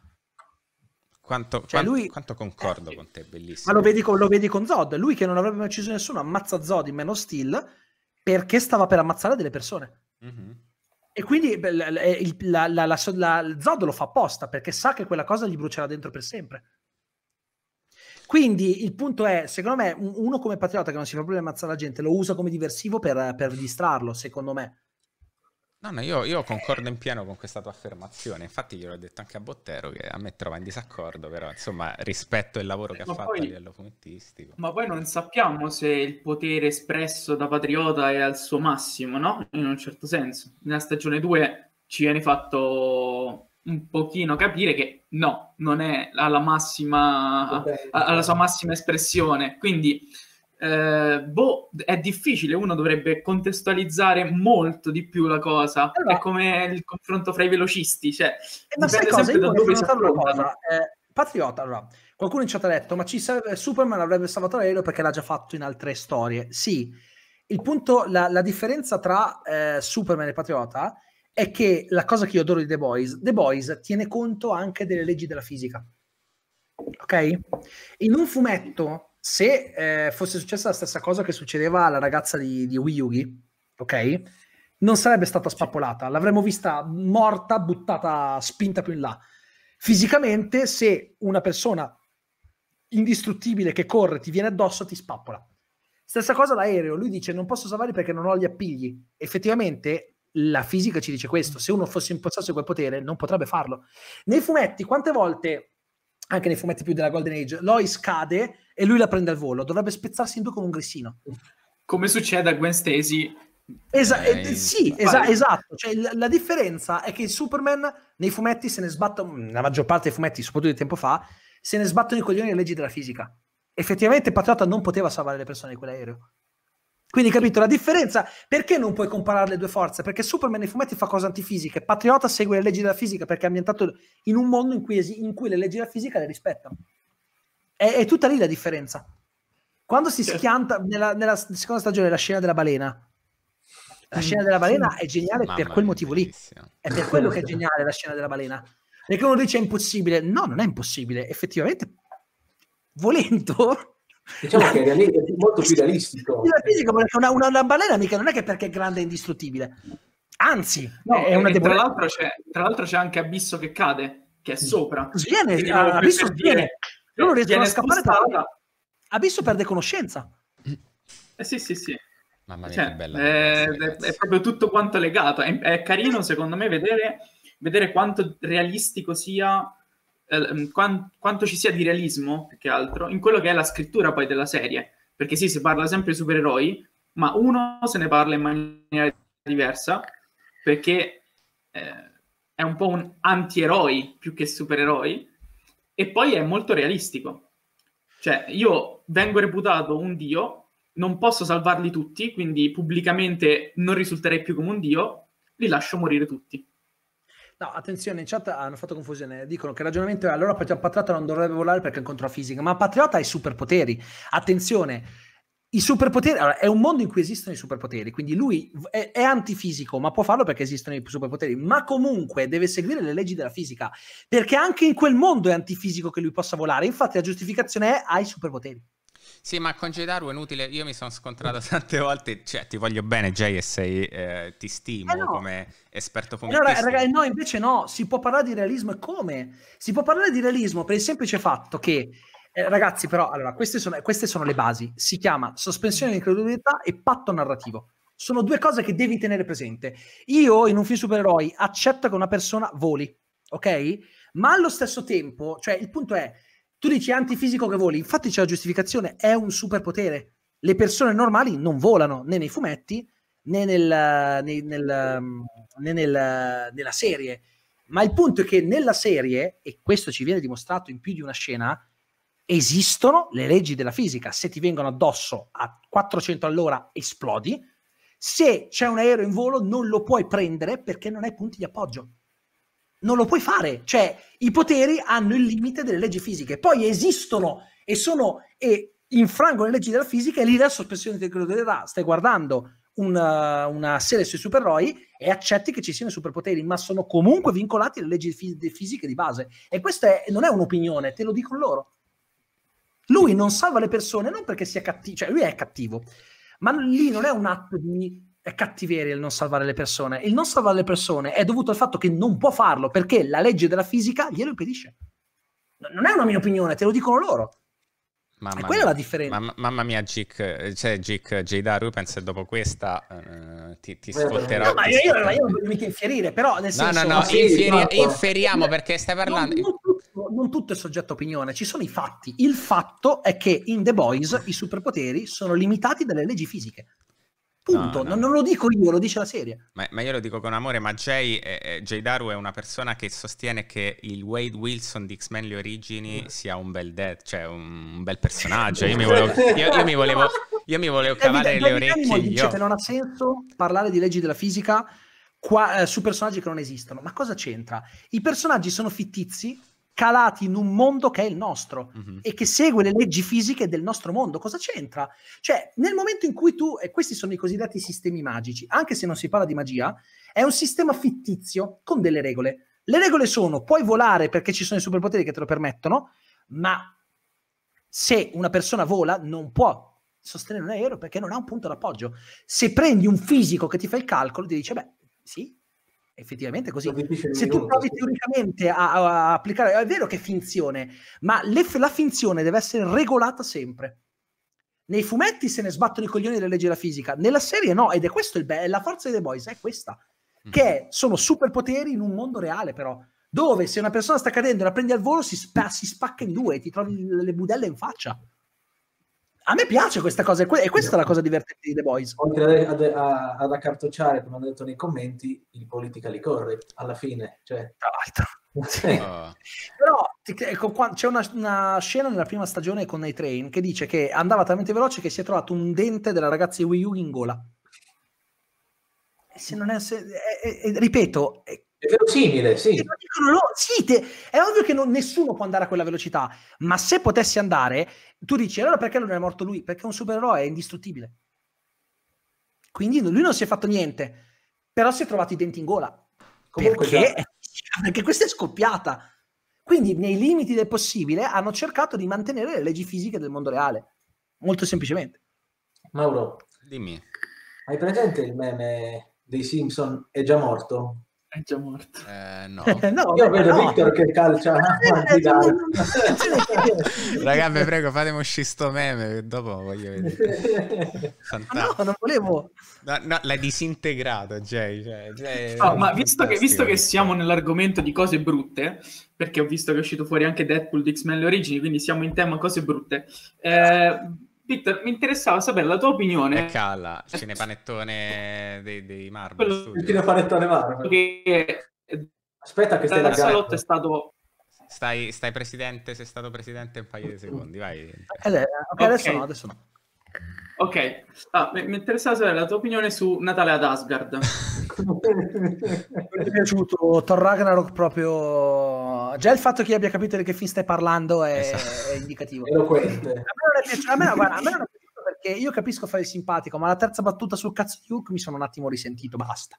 Vabbè, cioè, ma il chiamata, aiuto, il no, chiamata aiuto, raga. Il chiamata no, aiuto. sai qual è? Cosa mi fa incazzare di quel film? È che diventa interessante quando effettivamente vanno ad Asgard tutta la parte sul, sull'altro pianeta è inutile, è veramente inutile, non, non ha...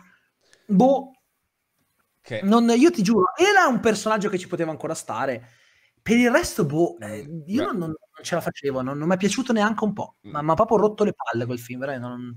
Ma hanno continuato con la partita di, di, Infatti... di Fortnite in, ma no, ma la cosa della partita di Fortnite è quella che ci, quella ci sta, non è quello il punto. Il punto è un altro. Ma sì, vabbè, Perché no? Raga, mi fate sfogare un attimo su Thor Ragnarok perché io devo prendermi i miei tre minuti di sfogo su Thor Ragnarok tutte le live. Allora, eh, cioè, que- è anche Pino Quozzo, ma come fa a dire? Allora, Thor, Thor, io è un personaggio che adoro, cioè lo, lo seguo da sempre. Thor è un dio, è una persona che è un dio che quando compare nei fumetti, soprattutto all'inizio, compare parla in caplocks, cioè ha un suo carattere, ha una sua personalità. E quindi già renderlo macchietta in quel modo, anche se tu ti rifai fumetti tipo il Thor indegno, rimane indegno, ma è sempre un dio, ha un comportamento di un dio. E, e lì tutto sembra tranne che un dio. Dopodiché, cioè, hanno preso due saghe fumettistiche che io amo, come Planet Hulk e War War Hulk, perché eh, a quello si rifà tutta la parte di Sakar, cambiando, inserendo il Gran Maestro dove non ha senso, perché dovrebbe esserci... Ehm, Re Rosso, ma tralasciando, cioè, ah, il Planet Hulk è una saga fumettistica di un'intensità impressionante, dove Hulk viene buttato fuori a forza dagli illuminati e scaraventato su sto pianeta dove c'erano dei dischi eh, di obbedienza che ad- mettevano in ginocchio addirittura Silver Surfer. Cioè, tu non puoi prendere una saga fumettistica di quel livello e renderla veramente Natalia ad Asgard con Hulk che fa Thor amico di Banner, cioè, ma di che stiamo a parlare? Secondo me quello è, è il punto più basso, il punto più basso de- che abbia mai raggiunto Marvel Studios dall'inizio dei, dei cinecomics. Ma Scusate. sicuramente è il film dove riscrivono il finale. No, vai, vai, riscrivono vai, vai. il finale di Age of Ultron. Riscrivono il finale di Age of Ultron. È imbarazzante. Ma non Cioè- solo, vogliamo parlare di, que- di Thor che è il dio del tuono, che spara a un certo punto spara i fulmini dalle mani perché il tuono è dentro di lui e tutto lo buttano giù col taser. Chiamando Sarebbe, aiuto. sarebbe come sconfiggere la torcia umana con un accendino, non ha un cazzo di Non avrà questo- va giù col taser? Ma guarda, Thor Ragnarok è la prova che la Disney non è mai riuscita a valorizzare Thor come personaggio singolo, ma solo coralmente. Perché? Perché per renderlo interessante hanno dovuto iniziare a fargli fare il coglione. Eh, peraltro, mh, a me, no- a me questa, questo dai, trasformiamolo in Guardiani della Galassia. Ma perché è Thor? Ho capito che è la parte cosmica, siamo tutti d'accordo, ma è Thor. È un tono da Guardiani della Galassia, cioè hanno dovuto trasformarlo in Guardiani della, della Galassia per farlo piacere alla gente, perché se no, per come l'avevano gestito fino a quel momento, Thor non piaceva alla gente, c'è poco da fare. Al grande pubblico Thor non è mai piaciuto come gli altri supereroi da solo. È piaciuto il momento in cui è diventato Guardiani della Galassia. Attenzione, non paragoniamo però No, no, no, il no, sala no, zucchero, però l'atmosfera è quella. Sì, sì, sì, sono d'accordo. Se- Secondo me, secondo me Waititi ha preso e copiato la- lo stile di Gano. È ambi- è ambi- è- fa parte del filone cosmico. Io non ci credo neanche se mi mostra l'immagine che avrà l'atmosfera di Guardiani della Galassia, anche se è parte cosmica. Quindi, perché molti dicono, eh, ma è la parte cosmica, la trattano così. Non è assolutamente vero. L'hanno trattata così solo nei Guardiani della Galassia. Hanno capito che funzionava e che Thor non piaceva come gli altri supereroi. Fanno Thor Ragnarok che va tantissimo perché? Perché ha ricordato vagamente i Guardiani della Galassia. È solo per quello. Gli Eterni non ci credo mai che me lo trasformano in un, Guardiani della Galassia 2.0. Non si, si prenderà molto più sul serio, rispe- nei limiti di quanto un film Marvel si possa prendere sul serio. Ma non ci credo ed è comunque parte cosmica. L'hanno fatto con Thor perché Thor aveva bisogno di una cosa del genere, altrimenti non lo recuperavano più.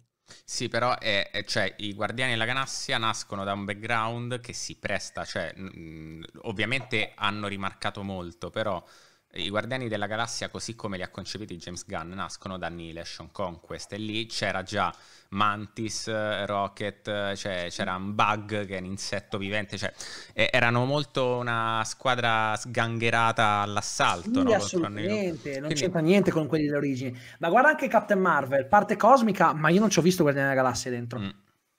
L'hanno fatto perché era l'unico modo.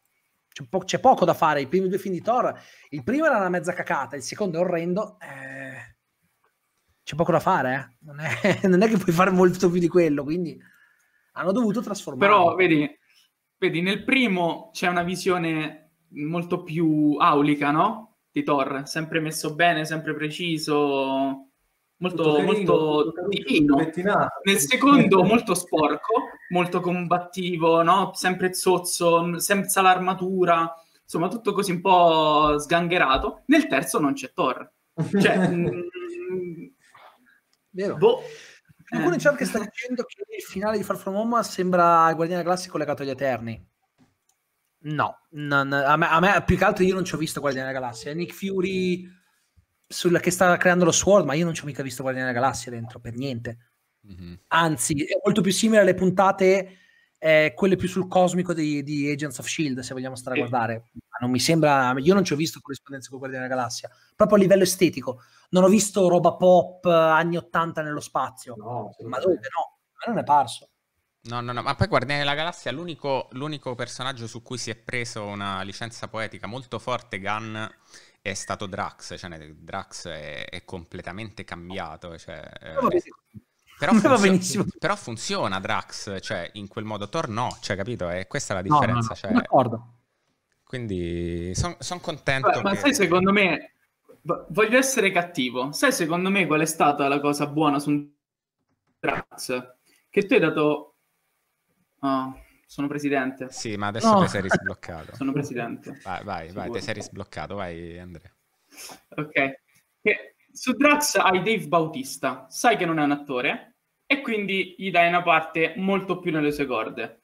Thor lo dai a Chris Hemsworth, che fa o il belloccio o il coglione, e pretendi che faccia un qualcosa che non sia il belloccio e il coglione. Questo è l'errore. Infatti poi in Eh, eh, Ragnarok in Endgame fanno fa quello. Va- vabbè. Scusate la cattiveria, però. Sì, sì, sì. Ehm, io però ho una curiosità, c'è una domanda a Victor che gli devo fare in quanto non c'entra niente con i cinecomics, ma con una serie che io amo alla follia, che è Doctor Who. Eh, sono curioso, mi, mi daresti un giudizio veloce su- sui nuovi dottori, cioè nel senso sul dottore dal nono al tredicesimo? Ma proprio Allora, velocissimo. dunque, eh, io sono un grande fan, ho anche un Dalek tatuato sul polpaccio, quindi Fantastico, eh? Eh, allora, il nono per me è il più sottovalutato. Un ottimo dottore, purtroppo Eccleston ah, non, non, era mol- non andava d'accordo con Russell T. Davis, ma tornerà in un radiodramma, quindi sono contento. Peraltro un dottore completamente differente rispetto a quelli che abbiamo visto prima, perché erano vestiti sempre in maniera molto eccentrica, lui è l'unico vestito come una persona normale, per davvero. Mhm. Eh, peraltro faccio notare che quello era il look che Colin Baker aveva proposto per il sesto.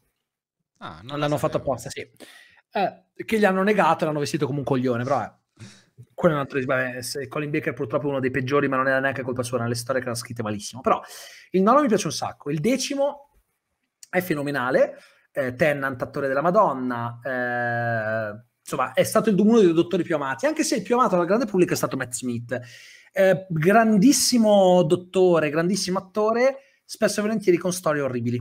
Perché Moffat era bravissimo nell'era Russell T. Davis, quando era T- Russell T. Davis lo showrunner, e quando lui eccedeva, eh, probabilmente gli diceva: Senti, per cortesia, fai il bravo. E ha scritto puntate come Blink e The Library, che sono tra le migliori de- della serie contemporanea. Eh, quando è stato lui come showrunner, non si dava una regolata. Ottimi soggetti, pessimi finali, pessime, pessime storie, tranne la nona stagione, che secondo me era l'ultima che ha fatto, molto bella. È il, è Heaven Sent, una delle puntate più Mamma belle. Who. l'adoro, Cioè, è la mia puntata roba preferita, impre- la Il mia puntata finale preferita. puntata è una roba da brividi. Quando capisci dov'era e dove si... Mamma mia, che roba. Victor, ti adoro, è la mia puntata preferita. Ho anche il No, disco. no, co- è una io, roba io- impressionante. io ti do una chicca. Ho anche il disco Confessione fatto dallo stesso prop maker che l'ha fatto per lo show. Cioè, eh, ti giuro, no, ti ringrazio E- perché è, è un oggetto a cui tengo molto e, e la puntata ce l'ho veramente nel cuore, quindi mi Ah, piace. no, la puntata è meravigliosa. Ehm, Capaldi è un dottore incredibile, è il mio preferito, è il mio dottore preferito perché della, della serie classica il mio preferito era il terzo e Capaldi è quello più simile al terzo, come carattere, anche come aspetto se vogliamo. E poi il dottore punk, cioè il dottore che suona la chitarra, come, come fai? Cioè, è fantastico. Peccato che abbia avuto la companion più irritante di sempre che è Clara Oswald. Ah. Io la, veramente, Clara Oswald la odio, ok? Non, non la sopporto. Eh, o meglio, con Smith ancora ancora, da quando c'era Capaldi è diventata mm, fastidiosissima. Io nella puntata Kill the Moon, quando c'è lei che dice perché non potresti aiutarci almeno per una volta, mi viene da dire ma, ma sei scema? Ma ho salvato la Terra miliardi di volte, ma, ma che cazzo dici? Vabbè. Eh, poi Jodie Whittaker, dottore fantastico, showrunner incapace, perché Chibnall finché faceva broccia c'era bravo, ma non dovevano mettere su Doctor Who. La serie, cioè lei è bravissima, ma ha dei companion che sono odiosi, cioè veramente irritanti al massimo, non li sopporto quei tre. E poi eh, le storie sono terribili. hanno abbandonato, a parte allora, la, la dodicesima stagione, no scusa, l'undicesima stagione, non aveva praticamente la trama orizzontale e infatti ha perso un sacco di ascolti perché la gente si annoiava, perché non è più il 1970.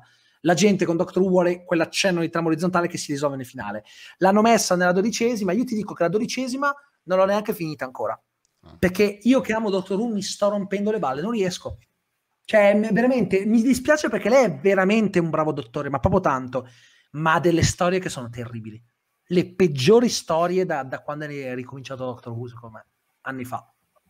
Be- bella disanima, sono contento perché mi interessava, mi interessava avere la tua, la tua, opinione a riguardo su una serie che amo e mh, mm, c'è, c'è, anche qua un po' di diatriba tra me eh, e, e, e, Simona sui dottori. Io personalmente non ho apprezzato particolarmente il nono, eh, adoro Capaldi, adoro Tennant, eh, Smith mi piace. Eh, però... Il monologo degli anelli di Akaten è qualcosa di... cioè ti strappa via la carne dal corpo per quanto la pelle d'oca che ti sale. Lui, lui credo che sia stato... Allora, eh, io credo che quella di Tennant e quella di... cioè quello di Tennant e quello di, di Smith siano i momenti eh, di rigenerazione migliori di sempre.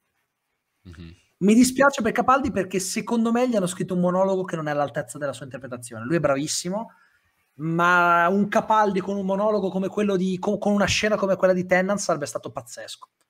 È un peccato perché secondo me quel monologo è, più, è uno dei più deboli di rigenerazione. Persino quello di Eccleston era migliore, mm-hmm. cioè che, che era quello un po' più debole.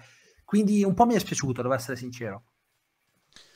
Bene, bene, allora torniamo un attimo ai cinecomics, ho visto la scena di Wakanda di Thor che è piaciuta molto, quindi eh eh, contrapposizione Infinity War Endgame. Sono due film completamente diversi. Cioè, sono... Il punto è, molti dicevano, allora, quando hanno fatto che inizialmente doveva essere Avengers uh, Infinity War parte 1 e parte 2, poi li hanno separati, hanno detto sono due film diversi, la gente fa, beh, non è vero. No, è vero, cioè sono collegatissimi perché uno è il seguito dell'altro, ma sono diversissimi.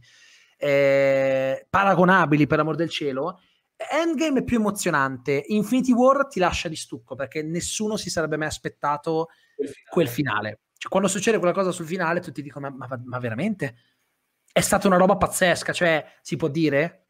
Penso l'abbiano visto tutti. Eh, penso, dai, è uscito e... fa, dai, sì. avere, allora, è vero che poi torna, però avere i coglioni di mettere la scena con Spider-Man che muore, lì sono stati veramente dei geni, eh? perché non se l'aspettava nessuno. Nessuno se lo sarebbe aspettato. Per cui... è tutta grazie all'attore. Quella... Eh sì, beh, lui poi è bravissimo, secondo me. Quindi, ma la scena, la, la, il rapporto che si è creato con Tony Stark, secondo me è una roba... Ma hanno veramente fatto una, un'ottima cosa. Victor, tu non hai trovato Endgame un po' troppo troppo telefonato al servizio del fanservice, cioè nel senso... Ah, senza dubbio, ma tutti... Allora, eh, quando si parla di questi film, secondo me non si parla quasi mai di capolavori. Sono proprio pochi quelli che dici, cazzo, tipo Guardiani della Galassia, e quello è... Allora, il punto è, è, proprio... Perché lo amano anche quelli che non sono fan dei, dei, dei cinecomic? Perché quello è cinema con la C maiuscola che non si limita solo all'intrattenimento, c'è la regia, eh, ci sono le citazioni, è, è, proprio, lo vedi che è un autore, sì, è un sì, film sì. d'autore. È un film d'autore con i soldi. Anzi, è un film della troma con i soldi. No, un po' come la Slither, allora, tipo Slither di James Gunn. Perché è piaciuto così? O anche Super. Perché piaciuto, sono piaciuti tanto al pubblico? Perché erano dei film della troma con un budget altissimo. Perché è piaciuto tanto della Galassia? Perché è un film della troma senza troppo sangue, ma è quello. Cioè, il gusto troma lo senti. C'è anche Kaufman che fa un cameo in Guardiani della è uno degli scienziati, quindi figurati. Ehm, è bello perché è autoriale. Gli altri, per la maggior parte, sono degli ottimi film di intrattenimento. Endgame è un film con delle falle grosse così. Cioè, Endgame, de- cioè, per dire che non si, cioè, se tu noti, non ti spiegano come, come ha fatto Thanos a, ad arrivare a, eh, ma perché c'è Bonnie Moe che è un mago. Eh. Eh, ok, e fammi una frase con lui che gli dà la fiera e dice pensaci tu con lui che lo metti in una macchinaria o qualcosa del genere. Mm-hmm. Ci voleva tanto mettere una scena del genere? Perché è vero che non ci puoi arrivare, va bene, ci puoi arrivare, però cazzo è un, è un non detto un po' pesante quello. È pieno di puttanate eh, Endgame, però è emozionante. Quindi io rite- ritengo che sia un film molto emozionante, perché mm-hmm. comunque è la somma di, di 11 anni di, di, di, costruzione per arrivare a quel momento. Cioè, la scena di Avengers Uniti... No, no. Sì, dal, dal primo Iron Man e ti scende la lacrima. Io, io l'ho visto quattro mm. volte in quattro sale diverse. Alla fi- in quella scena la gente si alzava in piedi e urlava. Cioè, c'era gente che si abbracciava, gente che piangeva. Dite quello che volete, po- potete dire quanto volete che non sia cinema, ma quel tipo di emozioni non l'ho vista per nessun altro film, mai. In 32 anni di vita io non ho mai visto un'emozione del genere in una sala, mai. E l'ho vista quattro volte per lo stesso film in quattro sale diverse. Vorrà dire qualcosa. S- sono d'accordo, per a me, emo- personalmente, ovviamente io non sono nessuno, però ha emozionato molto di più Infinity War perché finalmente c'era catti- uno dei miei cattivi preferiti eh, in Marvel che Thanos e mi è piaciuto veramente tanto l'intensità che hanno dato al personaggio, lo, il motivo. E, e, Thanos è fantastico, perché e... quello di Endgame non è lo stesso Thanos, cioè è, un altro, è proprio un'altra caratterizzazione, perché è un Thanos che non ha ancora raggiunto quella consapevolezza. Sì, però l'hanno proprio completamente ammazzato in Endgame, cioè nel senso Thanos è talmente tanto profondo in Infinity War quanto è vabbè, ho capito che non posso vincere, allora distruggo tutto. Cioè, non è quello Thanos, eh, capito? Ma in realtà, in realtà Thanos è un Thanos molto prima di raggiungere quella, quel tipo di consapevolezza. Quindi eh, è un Thanos che non è ancora, non è ancora diventato Inesper- Thanos. Diciamo inesperto. Capito? È un, altro, è un altro Thanos, è un Thanos precedente, quindi ci sta che sia immaturo e che è un Thanos ancora votato alla, alla distruzione, non è il Thanos saggio del, di Infinity War. Quindi a me, a me ci, ci, sta perché non è lo stesso Thanos, è, un altro pe- è sempre lo stesso personaggio prima di aver raggiunto quel tipo di consapevolezza. A me va benissimo. Sì, però non l'hai preso tipo in adolescenza, cioè l'hai preso pochi anni prima, capito? Quindi... E pochi anni prima, però c'è anche da dire che eh, pochi anni prima eh, quello è il Thanos, è il Thanos che vediamo in Guardiani della Galassia.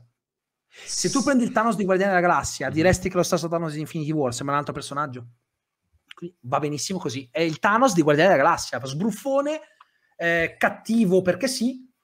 Non è, è il Thanos, ma tra altre cose, se noti, anche il, il, esteticamente il colore della pelle è diverso mm-hmm. da Guardiani della Galassia, è un altro Thanos.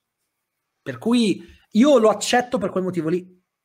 È completamente differente. E invece... A va bene. Tanto il Thanos figo me lo sono visto ai film prima, va bene così. Beh sì, quel Thanos è irraggiungibile. Beh, ma poi mi è piaciuto molto di più rispetto ai fumetti che lui fa tutto quello solo per compiace morte, no? Cioè almeno c'è un Thanos con uno scopo e un, una ragione sensata. Allora, è sempre pazzo, perché alla fine molti dicono, allora io c'è la, anche qui la Kerel, no? Ma non ha senso, può raddoppiare le risorse. Mm. Sì, potre- se volesse potrebbe, ma non, non lo chiamerebbero il titano pazzo cioè, il piano di Thanos dicono che non ha senso. Ovvio che non ha senso, è pazzo. Non lo chiamano il titano saggio, lo chiamano il titano pazzo. Lui è rimasto traumatizzato da quello che è successo a Titano. Non lo hanno ascoltato e lui dice: Va bene, ok, non mi hanno ascoltato adesso, adesso gli, gli mostrerò a tutti che avevo ragione. Mm-hmm. È fuori. L'avrebbero chiamato, l'avrebbero chiamato Thanos, uh, il titano intelligente, il titano furbo, il titano buono non l'avrebbero chiamato, se lo chiama il titano pazzo perché questo non ci sta con la testa, ma lo vedi che non ci sta con la testa. Mm-hmm. Eh, allora, e, e Magrelli scrive: Ragazzi, mi hanno creato un universo supereroistico cinematografico longevo ben dieci anni, qualcosa di incredibile, non tutto è ben riuscito. No, ma sì, cioè, qua eh, ovviamente noi siamo tutti fan dei fumetti e siamo ben felici, almeno eh, parlo. E, e questa è da storia del cinema, non è mai quello, stato fatto una cosa Di quello genere. che hanno creato. Poi, ovviamente, eh, si discute da amanti dei fumetti de, de, del particolare che nessuno vede. Qui... Però, ad esempio, Victor, a te è piaciuta la scelta di far decidere al topo le sorti dell'intero universo? Cioè, eh, allora, in realtà, in realtà sì, e ti spiego anche perché. Perché è il caso. Thanos parla tanto di caso, parla tanto di il, ca- il caos è equo, il, come diceva il Joker, no? Di fatto è quello. Perché io amo il caos? Perché il caos è equo, non ha un piano. È bello che Thanos, che ha sempre detto che ehm, il, il, lo schiocco avrebbe polverizzato tutti casualmente, ok? Eh, altrettanto casualmente Ant-Man viene portato fuori da un topo, cioè per, per, dire è una roba che a me non ha dato fastidio. Peraltro è successo 5 anni dopo, mica è successo 10 minuti dopo. Mm-hmm. È un caso. Come il caso ha deciso chi rimaneva e chi, chi, se ne andava, ha deciso anche questa cosa qui. Non ci vedo niente di. Sì, può essere un espediente che può dar fastidio, va bene, ma non è la cosa più assurda che abbiamo visto nella, nel Marvel, nell'universo Marvel. Tra l'altro, io sono sempre stato dell'idea che il finale di Infinity War sarebbe stato, anche perché sarebbe stato anche coerente, volendo, con quello che hanno fatto dopo sarebbe stato lui che guarda verso, verso l'alba e si disintegra. Io l'avrei, l'avrei, fatto così. Io avrei fatto polverizzare anche lui. Ti dico la verità. Eh, però dopo era troppo semplice, le gemme rimanevano là, andavano a prendere il guanto. Ma in realtà, in realtà, se ci pensi, lui è il guanto fuso, giusto? Però le gemme stanno là. Appunto, io non avrei messo le gemme che stavano lì, avrei fatto che si disintegrava ah, okay. tutto. Comprese gemme. Sì, con lo schiocco disintegrava anche le gemme e si polverizzava. A me sarebbe piaciuto molto di più. Tanto, tanto alla fine il senso era che le gemme si andassero distrutte. A livello di impatto, vedere Thanos che ha fatto questo e si polverizza, distrutto dal suo step, però felice, perché di fatto se lui si fosse polverizzato non gliene sarebbe fregato un cazzo. Cioè lui, lui sapeva di potersi polverizzare, ma l'ha fatto lo stesso. Sarebbe stato de- dieci volte più bello. Tanto alla fine eh, andavamo sempre in quella direzione. Sarebbe stato, anzi, anzi, sarebbe stato ancora meglio perché non l'avrebbero neanche ucciso loro. Sarebbe stato un doppio smacco. Cioè, questo ha fatto una cosa che l'ha ucciso, ma non gliene frega niente. Lui che sorride e pian piano si disintegra sarebbe stato il finale perfetto. Cioè, io, io l'avrei fatto così. Poi, ovviamente, sono scelte. Mm-hmm. Comunque, tornando ai, alle scene da film da braccio al cinema, come hai detto tu, no? Sì. Forse che, che metto alla stessa, allo stesso piano e parlo della mia trilogia preferita del cinema, che è Il Signore degli Anelli. Pensavo la scena del ritorno del re. Pensavo Dark Knight. Pensavo Dark Knight. E la differenza è che quella era una trilogia, mm, usciva un film all'anno. Per cui c'era sì. l'affezione, ma è una cosa diversa. Cioè, capito? Questa è una cosa che per 11 anni, cioè per 11 anni non abbiamo sentito quella frase. È una roba da fanboy estremi, ma è, è fatta per quello. Cioè, io quando ho visto i Seminelli non c'era, la stessa, non c'era la st- lo stesso entusiasmo, perché il legame era forte, ma erano pur sempre film usciti da pochi anni. Il primo era uscito appena un paio d'anni prima. Qua parliamo di una costruzione di dieci anni che, che porta a quello specifico momento, è un'altra cosa, è un altro tipo di emozione. Per quanto io sento gente paragonare la battaglia di Endgame a quella di Signorelli, ma non gli annaccia neanche le scarpe. Cioè, quella Signelli è, è, cioè, è, storia del cinema, è roba cult, irreplicabile secondo me. Quindi no, però è, è, un altro tipo di emozione. Ecco. E pensa che gente che ha voluto paragonare la battaglia di Grande Inverno a quella del Fosso di Eremo, lì mi si è spezzato. Allora, per essere televisiva, eh, ti posso dire che è la cosa più vicina a quella battaglia che abbiamo visto. Sì, sì, come, però comunque... Ovvio, ma eh, c'era anche un budget diverso. Con un budget sì. adeguato, secondo me l'avrebbe fatta molto simile. Eh. Ti dico la verità, è l'unica battaglia a livello in un prodotto audiovisivo che mi sento di dire che ci si avvicina. È che il budget è diverso. Con lo stesso budget, secondo me, sarebbe stato uguale, molto simile. Poi sì, sono due cose diverse, però è una bella battaglia, senza dubbio. A me non mi ha dovuto alzare la luminosità del televisore. No, aspetta, no, aspetta, no, no, ma aspetta, ma tu parli di gra- quella, quella, di Grande Inverno dell'ultima puntata? No, no, quella contro Ramsey? No, io non dico la battaglia dei bastardi, attento. Ah, no, no, no, io parlavo della battaglia dei bastardi. No, no eh, magari. No, vabbè, no. Allora, era, allora, era coraggioso il tentativo di farla di notte usando delle luci che non esatto, però effettivamente era un po' scura. No, no, no, quella no, quella non, sì, quella sì, no, quella non ci si ma no, no, quella no. I, no, no. no io parlo, sì, scusami, pensavo che parlassi della battaglia dei bastardi che no, no, quella è una grandissima battaglia. No, no, io pensavo quella, quella Grande Inverno, no, no. Quando mi dici la battaglia di Grande Inverno, io penso a quella di, de, della battaglia dei bastardi, non penso a quella, a quella buia, no, no, no. no. Per quello che hanno, qualcuno ha, ha tentato di, dar, di, dire, di dire che appunto era quasi meglio di quella lì, cioè, no, coraggio. Ma obiettivamente no, obiettivamente mai, ma quando? Ma, ma, figurati, no, no. Victor, sei preoccupato della gestione di Deadpool sotto della Disney? No, perché non sono degli idioti. Hanno già trovato, secondo me, no, col multiverso trovano il modo di slegarlo. Non lo mettono, no, no, no. no lo sanno, se, sanno perfettamente che se, lo, se facessero un Deadpool edulcorato la gente si incazzerebbe. Non lo possono fare. Non lo faranno mai. No, no, no. Ok, quindi sia, siamo fiduciosi almeno sotto quell'aspetto. Però, sai cosa? Io penso sempre, cioè, la Disney, cioè, non è che sono scemi in Disney, secondo me, cioè, è come dicono, rovineranno Alien, lo faranno edulcorato, ma perché? Ma non è vero. Cioè, mm. Alien ha un target e tengono quel target, non è che sei sotto Disney. È vero che questo è sotto Marvel, ma non lo metteranno, cioè, secondo me, se lo mettono nei film corali lo edulcorano per forza, per forza di cose. Ma se lo mettono nei film stand alone, in un film stand alone non lo possono edulcorare farebbero incazzare i fan, non, non gli conviene. Bene. Senti, coralmente, sì, coralmente te lo edulcorano per forza. Però secondo me ci marciano sopra. Tro- cioè, fanno, trovano il modo di fare lui che si, che si renda politically correct perché sa che è sotto Disney. Perché lo può fare, lo, l- lui rompe la quarta parete. Quindi secondo me si auto, siccome lo fanno autoedulcorato perché è lui che sa di essere in un film Marvel. Cioè, così farebbe morire da ridere. Solo nei film corali. Solo quando inseri... Se dovessero mai mettere nei film corali, a me farebbe ammazzare da ridere questa cosa. Di lui che si autocensura perché sa che è in un film Marvel. Lì diventa il punto di forza. Solo nei film con altri supereroi. Nei film standalone non, non lo faranno mai. S- sarebbe, sarebbe fighissimo.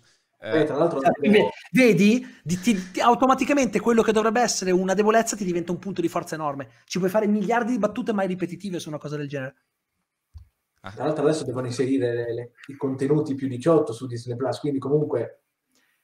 Con Star, sì, hanno annunciato oggi, hanno, hanno confermato oggi quello che avevano già detto 23 febbraio e hanno già detto che si troverà un po' di roba. Mol, molto, molto figo Star, tra l'altro, sembra, per cui può essere interessante anche questo.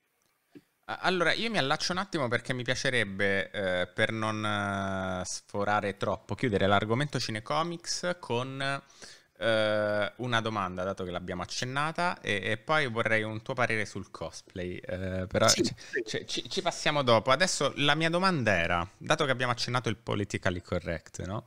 Eh, io penso di, di dire che eh, ovviamente siamo tutti a favore de, de, delle minoranze, ci, ci, mancherebbe altro, però eh, secondo me c'è modo e modo, nel senso eh, Prendiamo, io vorrei farti due esempi su cui vorrei avere un tuo commento. Prego. Il primo esempio è la scena di Girl Power di Endgame paragonata uh. alla scena di Girl Power di The Boys.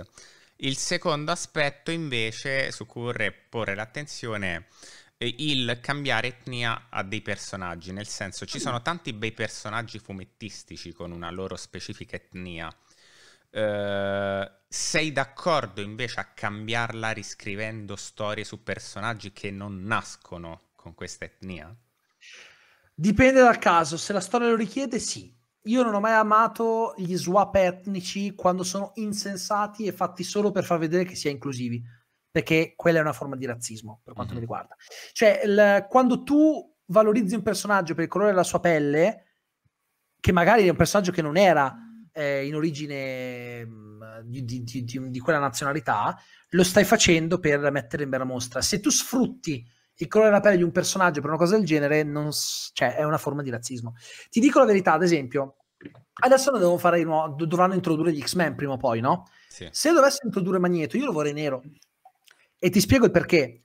Perché il Magneto, uh, allora, innanzitutto un, è un problema uh, pratico. Se loro vogliono fare una saga, c'è bisogno di un Magneto giovane. Ok?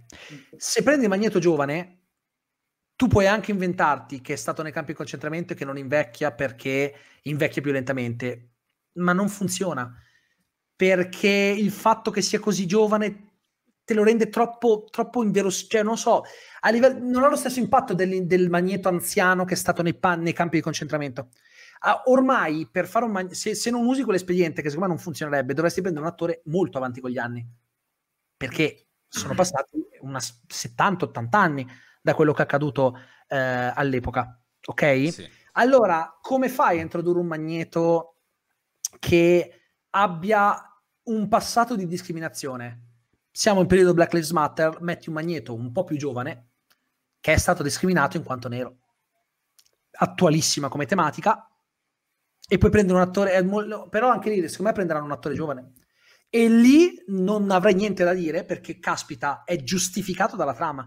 Anzi, ora come ora, mi fun- cioè, mi, mi, nel, nel, periodo storico in cui siamo, mandi anche un messaggio forte. Non, cioè, nel senso, il punto è che si era preso con Magneto l'olocausto perché all'ep- all'epoca in cui è stato creato uh, X-Men erano passati una ventina d'anni mm-hmm. e quindi era, è, rimarrà sempre una ferita freschissima perché quello che è accaduto è qualcosa di inimmaginabile. Ok, uno dei genocidi più terrificanti della storia, purtroppo ce ne sono stati tanti, ma è, è stato quello più programmatico, eh, organizzato, è qualcosa che fa venire i brividi a pensarci. Il problema è che quello sarà sempre attuale, non è una questione di attualità, è una questione che, essendo passato tanto tempo, diventa difficile renderlo credibile. È quello il problema. È l'esempio più grande di discriminazione e odio razziale quello. Ma ora come ora non ti torna più con l'età, cioè devi creare l'espediente invecchia più lentamente e allo stesso tempo lo vedi poco credibile un ragazzo giovane che è stato nei, nei, nei campi di concentramento. Non, capito? nel tempo. Ti- ti- Mm. eh, ma no, ma ti perde l'impatto. Ti perde completamente l'impatto, secondo me. Mhm. Hai capito? Si, va, si, infesta la met- si infesta la metafora sul razzismo. Perché beh, poi secondo me sarebbe anche una man- io la vedrei un po' come una mancanza di rispetto, ti dico la verità. Io non giocherei troppo su una cosa così seria. Mm, non lo so, io non, non- io- io non lo vedrei come rispettoso, ti dico la verità. Finché eravamo nel- nei primi anni 2000 ed era credibile il Magneto anziano, ok, adesso non ti diventa più credibile. E potrebbero prendere un'altra persona anziana, mm, ma poi quanto c'è capito, d- deve fare delle scene d'azione, è difficile. Come fai? Se prendi una persona di se- 65-70 anni, magari vogliono portare avanti per 15 anni, come fai? Eh, Eh, a, li- a livello, è brutto da dire, ma a livello Mm. pratico devono È pensare. realistico, sì, È è realistico, è molto che, sì. fila. Quindi, Ma secondo me non, non bisogna riscrivere la storia di X-Men, eh? cioè, perché devi riscriverla? Alla fine cambi solo il contesto discriminatorio, ma tanto se, cioè, l'importante è che ci sia, che il Magneto deve essere discriminato doppiamente, prima in quanto, in quel caso, ebreo o nel caso eh, facesse questa cosa come persona nera e poi come mutante. L'importante è che lui subisca discriminazione doppia e che ci sia un esempio di discriminazione. Perché comunque alla fine la metafora è quella sull'odio razziale sul fatto che gli esseri umani devono sempre trovare il motivo per, di- per discriminare qualcuno. Oppure mutante Novax. No, vabbè, quello magari no, però ho capito, secondo me secondo me sarebbe eh, cioè capito, io, io ti dico, io, eh, per me è una questione di rispetto. Mhm. Mettere uno che dici invecchia più lentamente come è sopravvissuto all'olocausto, boh, non, non lo so, mi, mi va di rispettoso. Non so spiegarti perché. Mettere uno magari di 40 anni che mi dice che è sopravvissuto al campo di concentramento, boh, mi- non lo so, sembra quasi un, un insulto alla memoria dei veri sopravvissuti. Non chiedermi perché, ma mi dà quell'impressione lì. Non, non mi piace, molto Ok. semplice. E, e poi è meno credibile. Perché tu comunque esteticamente lo vedi come un giovane. Non lo so. Quindi tu dici che sei favorevole, diciamo, al cambio di etnia purché la storia che ci sia dietro sia credibile. Sì, perché altrimenti diventa una cosa che non è fatta per una. per- eh, che è fatta solo per una questione di guarda. Ok. L'unico caso in cui, ad esempio, non era così era Deadshot, che dicono: Ah, è solito politicamente corretto. No, era Will Smith. Volevano l'attore famoso che si era interessato al progetto e l'ha messo. Ma infatti lo swap etnico di Deadshot, cioè, a, me non dà fastidio quando. poi, quando magari sono personaggi misconosciuti o, o meno conosciuti se non dagli appassionati, non ti cambia granché. Ad esempio, io ti dico, eh, poi dipende, perché se volessero fare, ad esempio, una, eh, una versione alternativa di Superman nero, per dire, ma paradossalmente, se ci pensi, alla fine non, non è la, la pelle bianca che, che contraddistingue Superman. Se ci pensi, basta che sia il ragazzotto finto timido. Cioè, capito? Ci sono dei casi in cui cambiare etnia di un personaggio, se non lo fai per una questione di politicamente corretto, cioè se tipo, non so, prendessero... Io c'era una volta che dicevano, eh, c'era questa voce infondata che dice- voleva Michael B. Jordan come nuovo Superman, ma lì avrebbe senso perché è Michael B. Jordan, un attore conosciuto, molto amato. Lì non lo fai per il colore della pelle dell'attore, lo fai perché eh, è l'attore famoso e poi comunque può essere interessante anche magari riscrivere un po' eh, Superman anche da quel punto di vista, perché alla fine è un alieno. Il colore della pelle non è rilevante. Aveva la pelle bianca perché era degli anni 30 ed era impensabile il supereroe nero. Ma adesso potrebbe tranquillamente farlo. Molta gente storcerebbe il naso, ma alla fine quello che conta di Superman è che mantengano il carattere. Michael B. Jordan è un bravo attore. O se lo facessero con che cacchio ne so, un Idris Elba. Perché no? Mm. Cioè, io non avrei molto da dire. Eh. Non è- se un Idris Elba di dieci anni fa, io non avrei avuto molto da Allora, dire. se Guarda-. Guarda, io sono, io, io sono purtroppo, eh, riconosco che è un mio limite, io sono molto legato a- alle origini dei personaggi. Eh, anche nei miei costumi, cioè nel senso io sono molto eh, tradizionalista e per questo sono stato molto contrariato dalla versione di Aquaman di Momoa e anche questa è un'occasione per dirlo.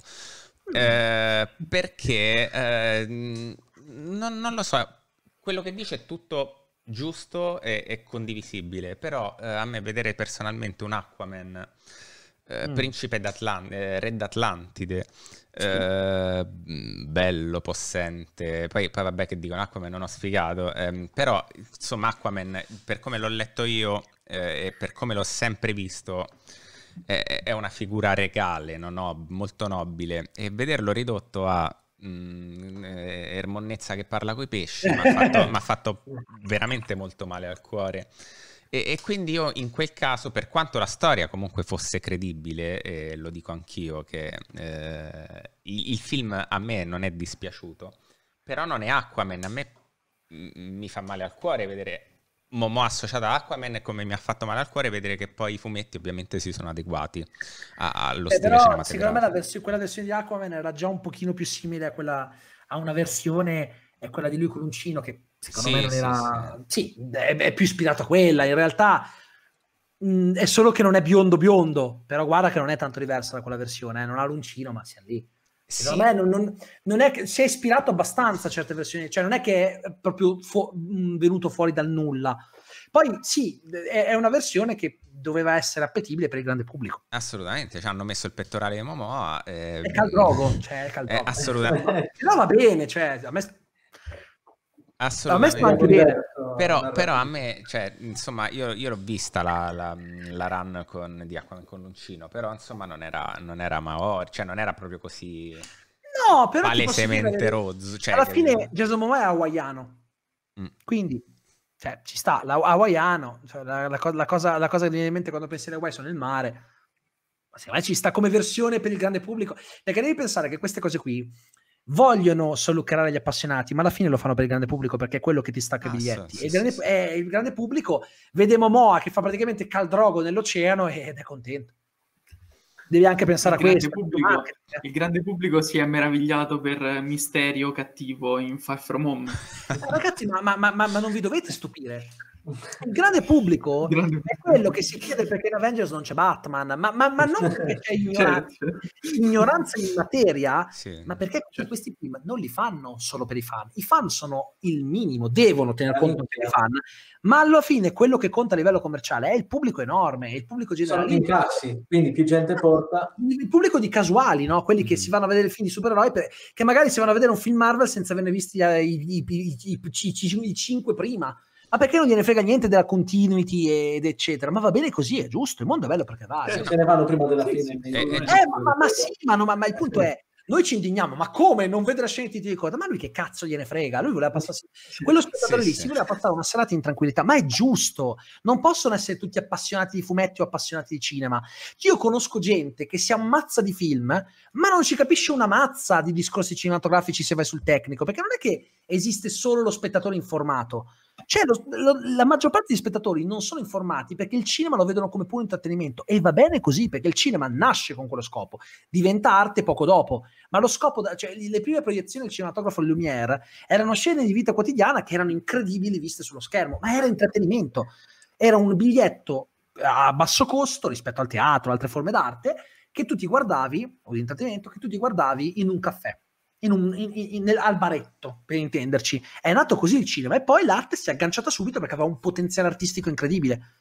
Ma non è nato subito come arte, era nato come eh, mezzo di sostentamento per i Lumière, per fare, era, era, un nuovo modo di intrattenere il pubblico a basso costo. Questo è il cinema.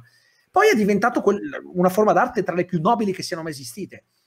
Ma la maggior parte delle persone, alla maggior parte delle persone non gliene frega un cazzo cioè, magari io conosco persone che hanno visto Animali Notturni e hanno detto è un film bellissimo, ma non ci ho capito un cazzo. E va bene così. Mm-hmm. Perché? Perché quando un film d'autore come quello ti fa dire è un film bellissimo, anche se non ci hai capito un cazzo, comunque ha fatto il suo dovere. Non tutti sono obbligati a vedere il cinema come forma d'arte, anche se lo è, secondo me. Stessa cosa per, per film del genere, sono film di intrattenimento, c'è gente che li vede come film di intrattenimento, basta. Dopo due ore si sono già dimenticati quello che hanno visto e ti chiedono perché non c'è Batman negli Avengers, come dicevo prima.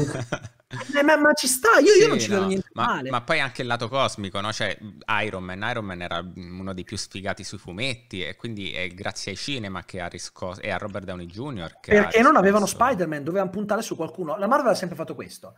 Quando volevano un grande successo, prendevano il personaggio meno conosciuto. Guardiani della Galassia, chi cazzo li conosceva?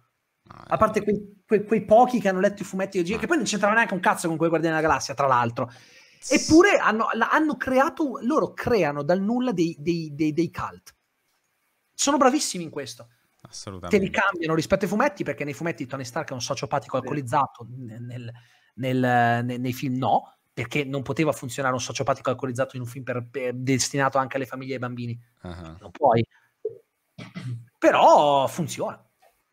Comunque sì, la storia di Magneto comunque poi dopo gli ultimi gro- successoni della, della Fox eh, sì, devono diciamo cambiare qualcosa ovviamente perché appunto il, con il Fassbender sì, attore ci sta magari però tutto quel casino che hanno fatto anche con la continuity temporale dal, per, da quello che reputo io il migliore film su X-Men che è Giorni di un futuro passato a passare a Apocalisse, cioè non si capisce più nulla. Lo schifo vero da, da, Dark Phoenix. Dark eh beh, infatti Dark Phoenix, raga, hanno preso la saga da Fenice e l'hanno resa ancora modo. Mi ha fatto da ridere Sofitano in un'intervista. Pensate, il film veniva scritto giorno per giorno mentre giravamo, ma, tesoro, ma se vede pure. Non c'è bisogno che me lo dici tu, l'ho capito che, che, che l'hanno fatto col culo. Cioè, no. Perché l'hanno scritto? lo, lo, lo, scrivevano, lo sceneggiavano giorno per giorno a seconda del giorno di ripresa, non sto scherzando, ecco, l'hanno fatto così. E infatti mi viene da dire te, tesorino, ma se vede. Eh, ma anche la cosa che è ambientato dieci anni prima del primo X-Men alla fine. Che tracollo brutto, mica tracollo brutto. sì, tra, tra, tra Fassbender e... e, oddio, McAvoy, sì, a voglia. Sì, sì, sì. Eh, eh, Victor, io ho paura a farti una domanda perché Violetta mi ha redarguito bene a fartela, però te la faccio lo stesso perché era uscita in live. Allora, cinepanettoni. Sì. Eh, si discuteva con Violetta, nel senso tutti contro. Io uh, sono stato l'unico che ha detto, ragazzi, fatemi spezzare una piccolissima lancia. Anch'io l'ho detto in, in, in favore dei cinepanettoni, perché comunque ce ne, ce ne, sono un paio che tu li guardi e esci con qualche risata, un minimo di buon umore. Quali, eh, potrei essere d'accordo, ma dipende di quali stai parlando. Vabbè, il mondo è bello per vario, ragazzi. Comunque, come hai detto, sì, sì, no, no, no, prima L'ultimo no. film è fatto bene perché ho usato la stessa tecnica di The Mandalorian. sì.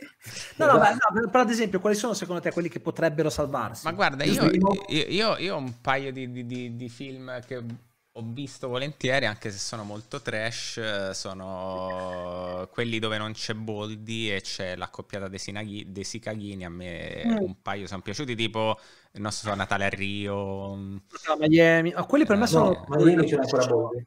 Secondo me quelli che si salvano potrebbero essere il primissimo Vacanze di Natale che aveva anche un fondo di critica sociale. Sì, alla fine non era comico, era una commedia italiana. Sì, era un po' amaro, eh, le, i, i, borghesi che scartano i pacchi davanti ai filippini con la faccia triste. Eh o anche Garrone che dice anche sto, questo Natale se lo siamo levati le, dalle balle cioè, sì, sì, sì. comunque era specchio di quello che era diventata la, la borghesia italiana no?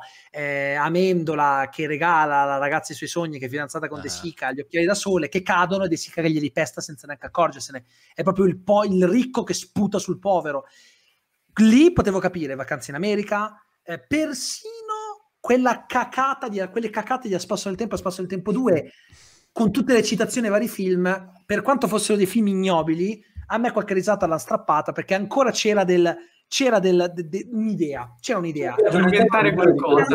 C'era un'idea. Parliamo di Natale in India, Natale a Miami, Natale sul Nilo, quello per me è l'abisso culturale. E, e sai qual è la cosa peggiore? È che cinepanettoni sono diventati così perché sono specchio della società. Cioè, in, nel film di Boris c'è Glauco a un certo punto che dice: Allora, Boris, che, il, il cinepanettone cioè, è una roba, cioè, è una è una scienza, cioè non è me, la, la, solita merda, c'è proprio una mm. scienza. E c'è Glauco che dice: allora, tutti gli stereotipi, cioè tutti, tutto quello che è negativo deve diventare positivo. È lo specchio della società italiana degli ultimi anni, degli ultimi decenni. È per quello che vanno così tanto, perché l'uomo medio, la persona, l'italiano medio, si riconosce in quegli stereotipi. Perché Checco Zalone va così bene quando fai film? Mm-hmm. Perché Checco Zalone che cosa fa? Checco Zalone prende t- di superficie tutte le cose che non vanno, quindi ti parla di equità, lui con lui che con Equitalia che gli morde il culo, sì, e magari la persona che ha Equitalia che gli bussa la porta da due settimane, quando ancora c'era Equitalia, che gli bussava la porta da settimane, ehm, che cosa fa? Si riconosce in quello stereotipo. Ah, anche a me Equitalia rompe i coglioni. Infatti, se noti, una cosa interessante dei film di Zalone è che invecchiano tutti malissimo. Nel senso che tu guardi un film di Zalone, la maggior parte delle battute sono su cose che non ci sono più o che ti sei dimenticato. Perché Zalone fa i film su quello che è discusso in quel momento. Non va mai in profondità, ti fai film di superficie, le persone si riconoscono in quegli stereotipi, ridono, fine. Sono film fatti per quel momento, invecchiano subito dopo un anno quei film lì. Beh, ma infatti la, cosa, la scena del primo film di di Zalone, degli emo, era, era il pieno periodo emo. È invecchiati, ma anche So Quo Vado, battute su Equitalia, eh, battute su cose che ormai non, non sono più, mm-hmm. non sono neanche più attuali. Infatti, perché Tolo Tolo, relativamente rispetto a quello che è costato, quello che è bene, nonostante abbia, ha incassato 40 milioni, beh, è anche vero che ne è costati 16. Se guardi gli altri film, avevano incassato molto di più in rapporto al costo. Mm-hmm. Perché Tolo Tolo è andato male? Perché Zalone ha fatto una cosa che in parte è anche coraggiosa, se vogliamo ha fatto l'inverso di quello che fa di solito. Ha fatto le battute per l'italiano medio, ma che lo prendono per il culo. Io vorrei ricordare quando c'è stato il videoclip immigrato. Sì. Che ci sono persone, non faccio nomi perché non sono sul mio canale, persone anche rappresentanti politici che lo osannavano perché erano convinti che lui stesse, che fosse anti-immigrazione. Quando poi si sono accorti che li ha presi per il culo, si sono incazzati tantissimo. Perché?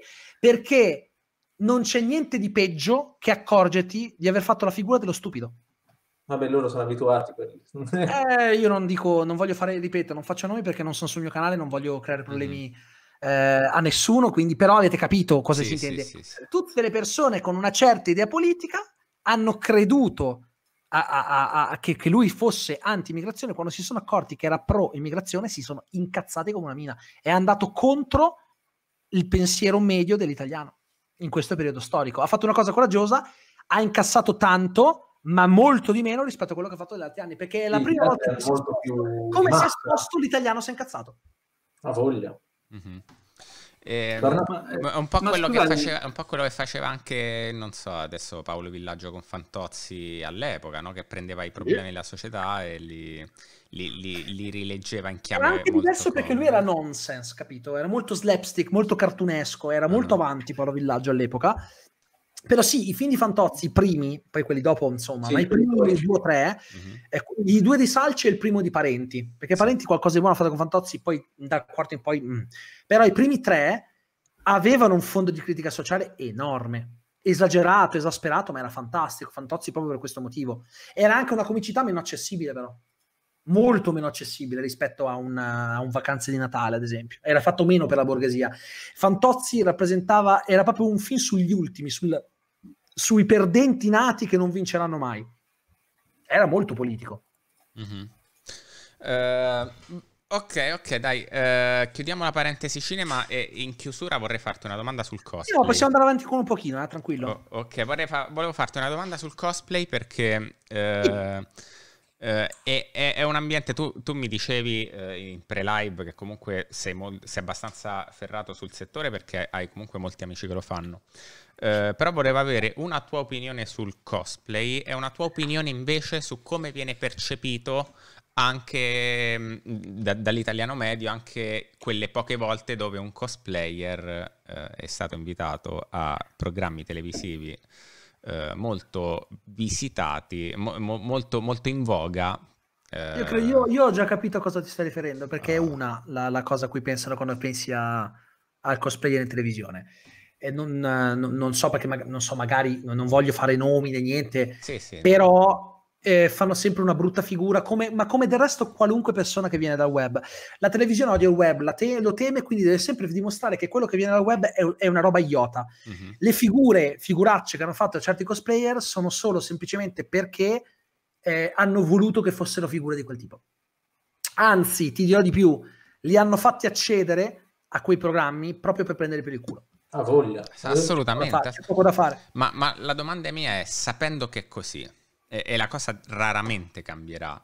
Perché accettare? Cioè, eh, ovviamente visibilità, ma che tipo di visibilità? Dipende, è, è comunque visibilità. A volte sai, sai, che c'è la frase che dice io non sono mai d'accordo, però purtroppo è tristemente vera, non eh esiste non la cattiva no. pubblicità. Esiste la pubblicità e basta. C'è gente che con la cattiva pubblicità ci ha creato un impero. Non gliene frega niente di quello che pensa la gente. L'importante è che la gente parli di loro. Io non so se questi cosplayer, poi ci sono eh, cose anche simpatiche, eh, che sono eh, in cui il cosplay era affrontato molto superficialmente, però comunque eh, solitamente, eh, solitamente in televisione le figuracce le fanno più che altro i cosplay maschi. Le cosplay donne no, perché, perché eh, ovviamente in televisione molto spesso ti prendono lo stereotipo, no? Perché il cosplay deve essere, il, la, la, la cosplay femminile per per, quei, per, quel poco che ne sanno le persone, deve essere necessariamente una bellissima ragazza che mostra tanto del proprio corpo, quando in realtà eh, moltissime, moltissime ragazze, anche magari belle, fanno dei cosplay assolutamente coperti, di cui si vede più che altro la fattura del costume, le prop che utilizza. E, e secondo me la bellezza, molti associano il cosplay alla bellezza, sia maschi che femmine, come se il cosplayer che accetti è quello bello, ma secondo me è una cazzata. È una gran cazzata purtroppo è la società in cui viviamo che tende a premiare il bello secondo i canoni della società, perché poi la bellezza è una cosa di canoni. Eh, migliaia di anni fa, eh, lo sappiamo tutti, eh, un corpo più robusto, corpulento, era considerato molto più appetibile di un corpo magro perché era sinonimo di fertilità. Adesso invece piace il corpo curvilineo oppure l'addominale scolpito per, per gli uomini, è tutta una questione di, di tempi che cambiano, ovviamente. Eh, ogni epoca ha la sua canone di bellezza. Il canone di bellezza di 30 anni fa non sono quelli che, che accettiamo oggi. No? Mm-hmm. Negli anni 50 andava molto la pin-up, abbondante nel, nelle forme, adesso la pin-up la chiamano curvi.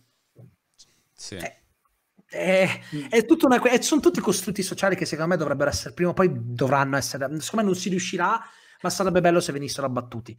Il cosplay, il cosplay, il cosplay è questo, secondo me il cosplay è più una questione di sicurezza in se stessi. Cioè il fatto di aver fatto, magari non hai un corpo, eh, un, per esempio a me danno fastidio quelli che dicono, ah però eh, con quel corpo lì non puoi fare quel costume. Ma chi cazzo l'ha detto? Ma se io ho fatto bene il costume, se io ho fatto bene le prop, ma perché non dovrei fare quel personaggio? Spiegami. Assolutamente, ma anche... Ma guarda come è fatto io... il costume, non guardare com'è il corpo, ma, ma anche, che ti frega del corpo. se io ho studiato sull'interpretazione, perché anche quello è molto importante, quindi... Cioè, nelle gare soprattutto. No, no, so, sono d'accordo con te. Allora, io ti, ti dico eh, la mia. Io sono molto cinico su questa cosa. Mi faccio nemici ovunque perché non ho problemi a, a, a dire la mia. E infatti, eh, da, da, dagli organizzatori a tante altre persone non, non mi possono vedere, ma me ne, me ne frego, sinceramente. Scusate eh, la parola. Però io ho tantissima stima del cosplay come concetto ho una veramente pessima ehm, considerazione della community e del mondo cosplay recente. E poi dico la mia anche dopo quando è finito, ti dico anche la mia su quello, perché secondo me sarebbe da analizzare come fenomeno sociologico. Assolutamente recente, perché una volta ovviamente era diverso, veri appassionati, ci incrociamo, cioè, cioè un aggregante sociale su una passione comune. Adesso è diventato, io dico, il, l'immondezzaio degli altri settori, ossia Uh, la modella che non riesce a sfondare nel campo della modella, mi metto un costume succinto, chi se ne frega e se il personaggio uh, non lo prevede, mi butto sul cosplay. Il fotografo che non sfonda come fotografo, vado dalla modella succinta, eh, cerco di sfondare grazie alle views della modella succinta che non fa cosplay. Eh, ci sono tante le, le gare cosplay che mal gestite, fatte da per giurati non all'altezza, organizzazioni non all'altezza e quindi alla fine certo. poi si creano flame assurdi con quello ha fatto vincere perché era amico di Tizio. Quindi, cioè, che il cosplay da molti venga concepito come tutto rosa e fiori è quanto di più falso. Vero è che è un'arte, vero è che è una, un qualcosa che si può fare a livello professionalmente, ovviamente lo devi fare con serietà. E, ehm, vero è che purtroppo a causa di questo tipo di persone che orbita e si fanno sempre più consistenti in questo campo, eh, poi alla fine il cosplay, essendo di nicchia, mh, mm, si butta in televisione o comunque alla, al, sui so, su, sulle televisioni, sui giornali.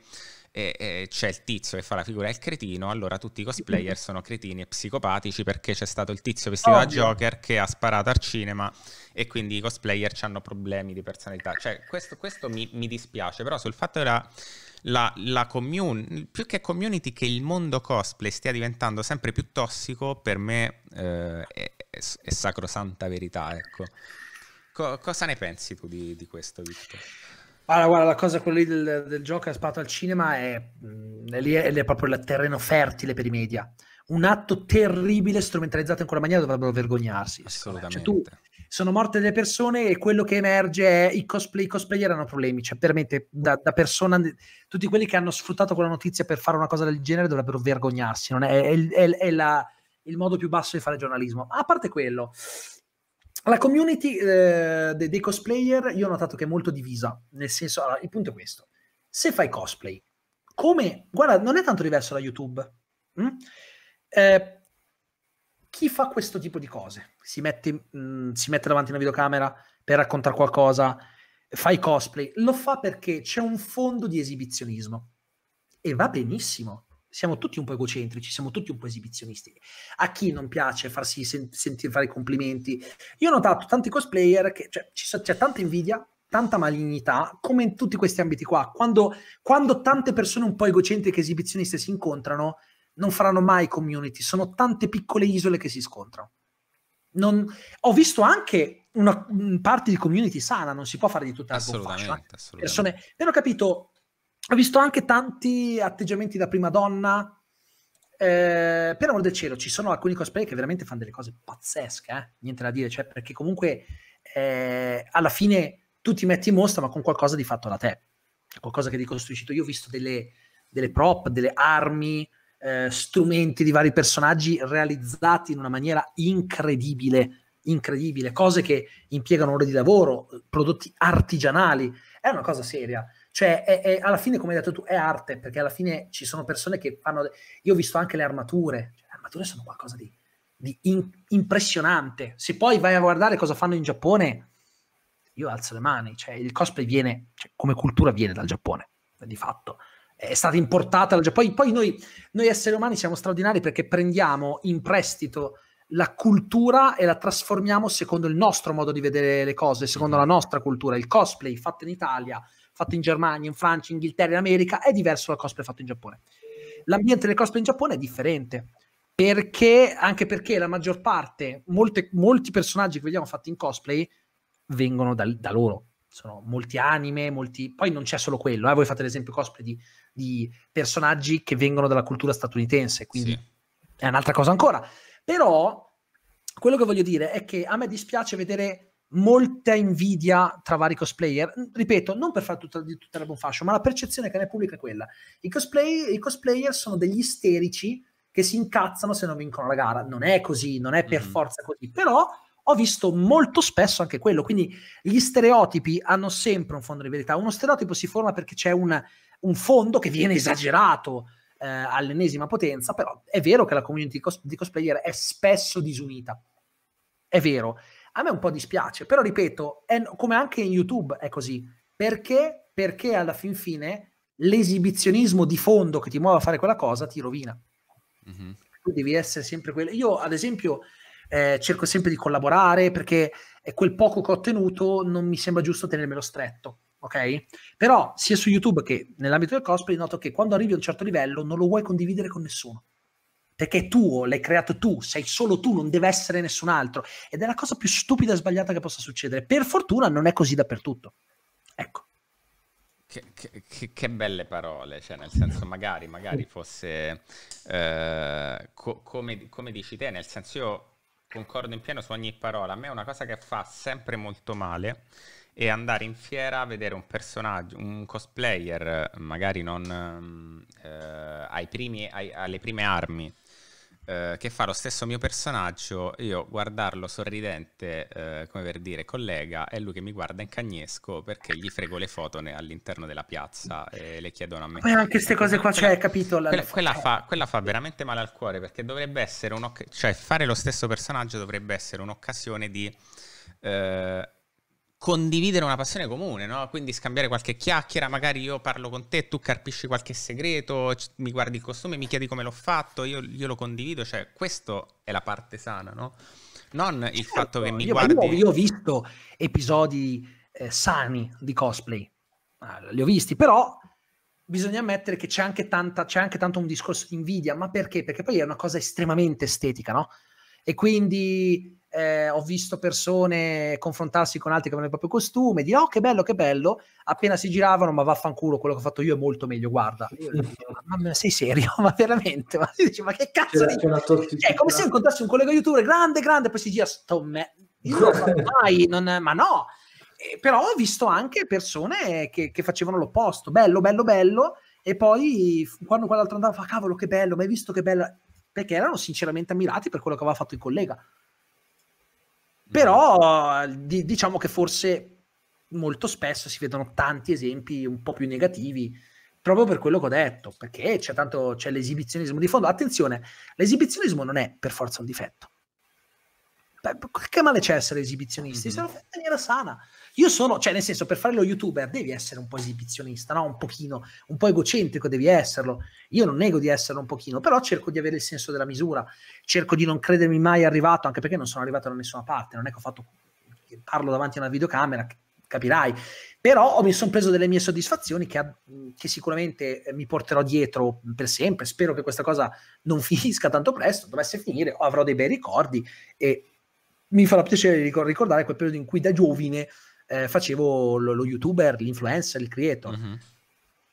Secondo me il problema è credersi, ecco, il problema di tutto questo ambito, YouTube, Twitch, cosplay, è credersi arrivati. Ricordiamoci che a cagare al cesso ci andiamo tutti, non siamo diversi, ok? Ricordiamoci che avere la gente che ti ferma per fare la foto può far piacere, ma non significa che sei arrivato da qualche parte. E anche se sei arrivato da qualche parte, non devi mai fermarti a guardare dall'alto in basso le persone perché vuol dire che sei diventato uno stronzo. Que- que- questo è da prendere, incorniciare e attaccarselo in capo. Tu mi hai detto, mi hai detto, si può dire, penso di sì, eh, hai specificato, guarda, noi non siamo un canale grande, eccetera. Assolutamente, no, ma mi preme perché molto spesso... A me fa piacere, a me, guarda, a me non me ne frega un cazzo. Cioè, davvero, non me, non me ne frega, cioè, nel senso, non mi interessa canale grosso, canale piccolo. Mi hai fatto una richiesta molto gentile, io l'ho accolta molto... Ah, ah, ti dico anche di più, io ho tolto la, la live di stasera, non l'ho fatta, l'ho anticipata, ho tolto la rubrica per venire qua. E lo faccio molto volentieri perché mi interessava il discorso di confrontarmi con delle persone nell'ambito del cosplay, che è una cosa che non ho mai fatto pubblicamente, mi piaceva l'idea e, e l'ho fatto molto volentieri. L'ho fatto molto volentieri perché io credo nel eh, collaborare con altre persone. Se uno ha una buona idea, se uno ha una... Poi io vedo in chat una bellissima community. Quindi il canale magari non avrà mille spettatori, però avete creato un qualcosa, cioè io vedo del contenuto qua dentro. Eh, vedo, ci, ci sono anche i meme interni. Quando funziona questo, ovvio, può piacere avere molti più spettatori, ma anche se non ne hai molti di più, guarda, a volte è meglio avere numeri relativamente più piccoli piuttosto che numeri ampi che però non portano a nulla. No, cioè, è... finché tu trai soddisfazione da quello che fai, andrà sempre benissimo. Molto meglio che avere migliaia di follower e sentirsi insoddisfatti. Io ti ringrazio molto, davvero tanto di queste parole perché eh, io ci ho tenuto a specificarlo e lo specifico con tutti perché eh, ovviamente noi non abbiamo, io sono molto fiero di quello che abbiamo creato, ti dico la verità, però ovviamente i numeri non sono grandi, ma noi abbiamo una community veramente calorosa, cioè noi abbiamo... Eh, lo vedo. La mia community, Questo ad esempio... Vale, fidati, vale più di qualunque altro. La, la mia community si chiama Armi, no? E, e, quindi abbiamo anche un gruppo Telegram, ci sono tante persone che su Instagram, senza che io chiedessi niente, si sono cambiati la biografia dandosi un nome Under the Hood taggandomi, cioè, e, e queste sono cose che per me eh, valgono tanto, però voglio Quello specificare... Che hai fatto tu è una cosa molto interessante, guarda, è una cosa che non molti fanno, voi, voi, tu, voi avete creato un brand, quando si fa questo mestiere è, è brutto, sembra una roba alla Stanisla Rochelle, no? Però devi, se vuoi puntare su te stesso devi diventare un brand, no? Tipo l'azienda. Io la fine della Telefunken non la faccio perché visto fuori la frase sarà nota. Però eh, avete, cioè, hai brandizzato Molti, quando sono, agli, quando sono agli inizi con i numeri su una piattaforma, non brandizzano perché eh, ma po- poco, poi sembra che me la tiro. No, è giusto, mm-hmm. perché il brand dà l'idea di essere qualcosa di forte già dall'inizio. Infatti, ripeto, per Twitch sono numeri tranquilla, cioè sono numeri che ti portano avanti, ma poi io vedo la, la community qua in chat, è calorosissima. No, io... Cioè, io li adoro, io li adoro perché mi mostrano il loro affetto, mi mostrano il loro affetto, mi supportano in tutto quello che faccio. Ehm, quindi eh, sono molto calorosi e io però ci tenevo a dirtelo perché comunque eh, voglio essere chiaro bene, fin però cioè, non... io non guardo mai i numeri. Io, io lo dico sempre, io ho 10.000 follower su Instagram, ma in realtà per me i, i veri follower sono 500, cioè per, io non conto cioè quello è un numero che rimane là, ma per me sono Ovvio. i fidelizzati, cioè per me sono le persone che tutti i giorni mi scrivono in privato, che mi seguono, che mi supportano, sono quelli veri follower. Quindi... I numeri servono per, diciamo, quando vuoi monetizzare l'attività, perché le aziende guardano i numeri. Mm-hmm. Logico. Ah, Io ho visto, ho visto aziende scegliere canali con molti numeri, ma poi pochi follower veri, non perché fossero comprati, eccetera, ma perché erano, mi piace, occasionali e rifiutare persone con community piccole ma fortissime che avrebbero molto avuto più presa sul prodotto. Mm-hmm. Non sempre le aziende lo capiscono, la scelta loro. Quindi alla, fine, alla fine comunque eh, il pubblico è importantissimo perché le cose che si fanno in questo ambito le fai per il pubblico ed è il pubblico a sostenerti, quindi il pubblico ha sempre la precedenza, sempre la priorità, è sempre la cosa più importante. Bisogna stare attenti a non diventare ostaggio del pubblico. Quello è un confine sottile. Cioè, avere sempre comunque bene in mente che devi fare quello che dici tu, accontentando anche il pubblico, ma senza mai diventare ostaggio del pubblico, perché è la cosa più sbagliata. È come, capi- è come quando si dice la major ha sbagliato ascoltare il pubblico, tipo Game of Thrones. Hanno ascoltato il pubblico, il fanservice è venuta fuori una merda il pubblico lo deve ascoltare quando però pensi che quella cosa che dicono ha, funzioni. Se ti chiedono una cosa che per te non funziona, a costo di magari eh, dire no, devi dire no. È, è, è, la cosa più difficile da fare, devi capire quel confine oltre il quale non ti devi spingere. Però il pubblico è la cosa più importante in assoluto quando si fa questo mestiere. No, no, io, io concordo. Infatti, non so se hai visto, io, n- noi poi alla fine andiamo, mm, personalmente mi vado molto a sbilanciare, cioè non mi piace, io preferisco rinunciare a spettatori o rinunciare a follower, però avere persone veramente affezionate, cioè le persone che ah, entrano in chat infastidiscono, eh, creano un ambiente tossico, a me non piacciono. E io preferisco... ho fatto fuori le, le, Io sono molto cattivo, uh, io ho smesso di essere gentile con gli imbecilli. Ah, assolutamente, Basta. quindi preferisco, ho detto ai moderatori, eh, ragazzi, non mi interessa, cioè siamo anche noi quattro, ma se dobbiamo essere in quattro sani, con un ambiente sano, perché io avere io 100 imbecilli in chat non... Molti mi dicono ignora queste persone, io dico sempre no, perché a un certo punto funziona sempre così. Una persona che si comporta in un certo modo viene sempre trattata con ignoralo, ignoralo, e non la smetterà mai. Quando viene da me, io lo metto davanti al suo essere maleducato e dico con me questa cosa non la fai, mi incazzo, lo blocco e poi mi, molto spesso mi vengono a chiedere scusa perché fino a quel momento non hanno mai trovato una persona che gli dicesse parla pane vino al vino e dicevano ma sì tutti lascialo perdere ignorano no se li ignori questi continueranno sempre un minimo devi cioè se non ti sai comportare e vieni da me io ti, ti, ti faccio vedere io come ci si mm-hmm. ti, dico, ti dico io come, come mi comporto io con quelli che non si sanno comportare e spesso vengono a chiedere scusa perché non avevano magari mai trovato qualcuno che si incazzasse sempre nel, nella giusta misura, eh, attenzione.